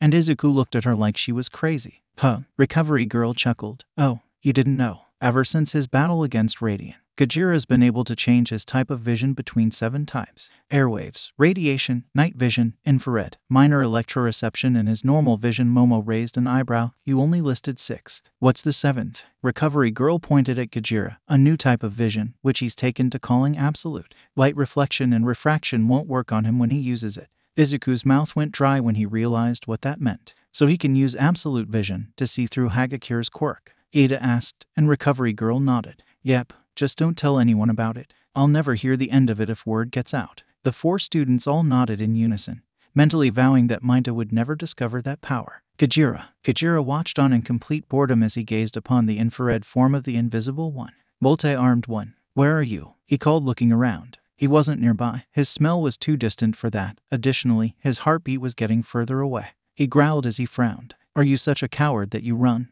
He shouted in disdain. Snarling, he walked forward and grabbed the invisible girl by the neck using his tail. However, his grip was loose enough that he didn't choke the young girl, but tight enough that she couldn't escape. Scoffing, Gajira turned around and stormed back to the entrance, where he turned and waited, dropping the invisible girl to the ground while keeping her in his grasp. How did you catch me? The invisible girl asked. Groaning, Gajira looked at her blankly. I told you, girl. My senses are far superior to that of immortals. Finding you was no challenge, he decided that it would be in his best interest not to reveal his numerous vision types right now. Likely it would cause the invisible girl discomfort and she would start calling him a pervert, which would lead to possible distraction and certainly annoyance from the insignificant worm later on. Plus, he just didn't want to explain it. However, Gajira was brought from his musings when suddenly the roof above him cracked and several tons of debris fell on top of him. Acting quickly, he tossed the invisible girl aside, where her frail body would be safe from the debris. Did I get him? As he lay on the ground beneath the rubble, Gajira's eyes narrowed as he heard the voice of the multi-armed one above him. Foolish, he muttered as he stood up, easily pushing away the debris in a similar fashion to how one would remove their blankets in the morning. Whoa, the multi-armed one shouted in surprise as he leapt away from the rising Gajira. Once he stood to his full height, Gajira brushed a piece of dust from his left shoulder with a bored expression. I expected more from you, boy he said as he returned to his normal vision. The multi armed one's eyes widened in disbelief as he stared at Gajira. No way, that was several tons of debris, he said, and Gajira scoffed. Only several tons. No wonder why it didn't work. Far delight. The souls of both the multi armed one and invisible girl decided to vacate their bodies at his words, and in unison, both fell backwards unconscious. Seeing this, Gajira growled and walked over to pick the duo up. Weak and pathetic, he muttered as he stormed out with both children hoisted over his shoulder. Disgraceful, the weak willed are crushed by the strong. He thought as his mind flashed to the past. The next day, Gajira looked down at the depressed forms of the pink, lips, blonde number one, red haired one, invisible girl, and multi armed ones with slight disdain. E everyone, I look forward to hearing all your stories O of campus the pink one sobbed. Maybe they'll end up letting you go. There might be a list minute twist or something. Midoriya said attempting to reassure them. Gajira scoffed. They failed Midoriya. Each of them made mistakes during combat and now they must pay for them. Blonde number one pointed at him. Really? What mistakes, huh? he asked, and Gajira rolled his eyes with a sigh, pointing at each of the duos as he spoke. First, pink and blonde number one. You were unable to examine the surrounding area and descended into panic once the rat began his assault. Second, red haired and lips, your approach was boneheaded, stupid, and predictable, each of which resulted in your defeat. And finally, invisible girl and multi armed one. Your mistake was thinking you could fight me in the first place. He didn't miss the sweat drops of all the children as he spoke, but none of them spoke up. and none got the chance as the door was slammed open, revealing Aizawa's form. Once the bell rings, you should be in your seats, he said. Gajira nodded, before looking around and seeing every other student in the class had been seated and were silent and still, prompting him to blink. Grunting to himself, Gajira walked over to his seat, sat down, and turned his gaze to Aizawa as he walked to his desk. Morning. Unfortunately, there are a few of you who did not pass your final exams. So when it comes to the training camp in the woods, suddenly, a grin grew across Aizawa's face as he said in a tone that almost resembled excitement, Everyone is going. He can smile. He has energy. We really get to go to camp. The red haired one exclaimed, Seriously? The pink one asked, Yeah, the good news is that only one of you bombed the written exam. Aizawa paused for a moment, glancing at Gajira, who snarled in response. Seven failed the practical, badly. Three teams, of course, and then Sero failed as well. Aizawa wisely continued. Elbows exclaimed in annoyance. Crap, I knew it. Mineta made it to the gate, but I didn't do nearly enough to pass. How were we meant to beat Gajira? We dropped a building on him and it didn't even scratch him. The invisible girl shouted. Let me explain, Aizawa said. For the practical battles, the teachers made sure to leave a way for the students to win. Otherwise, you never would have stood a chance. We were interested in observing how you each worked together and approached the task at hand. Aizawa said, But didn't you say that the teachers wouldn't be holding back? The tailed one asked, while the invisible girl added, And when did Gajira leave an opening for us? That was just to get you on edge. You should have realized that when Gajira didn't use his beam. And as for him leaving an opening, he left a gap for you to escape as he tracked Ojiro, as well as when you dropped several tons on him, albeit it didn't last long. Besides, the camp will focus more on building your strength. Those who failed need those lessons the most. We were never going to separate you. That was just a logical deception that we used, he finished. While the failures all celebrated, the jetted one shot up with a raised hand. Mr. Aizawa, this is the second time you've lied to us. Aren't you afraid we'll lose faith in you? He shouted. A little blunt there, Tenya, Uraraka said. Gajira just shrugged. He didn't really care either way, although he wasn't happy that he'd been lied to about the invisible and multi armed ones making it to the camp if they failed. That's a good point. I'll consider it. But I wasn't lying to you about everything. Failure is failure. Aizawa glared at the failures. We've prepared extra lessons for the seven of you. Frankly, they'll be far tougher than what you'd face at summer school. Gajira barked a laugh at the broken looks on their faces. Don't look so disappointed. This is what you need, and you hoped for this. He pointed his tail at the red haired one. And you, I expected you to be excited at the challenge. Disappointing. The failures all glared at him out of the corners of their eyes, likely all having bitter thoughts along the lines of, Shut up. Thirty minutes later, Hey, Gajira. The invisible girl greeted as she slid in front of him, causing him to raise an eyebrow. What is it, girl? He asked. You want to come shopping with us? She asked. No.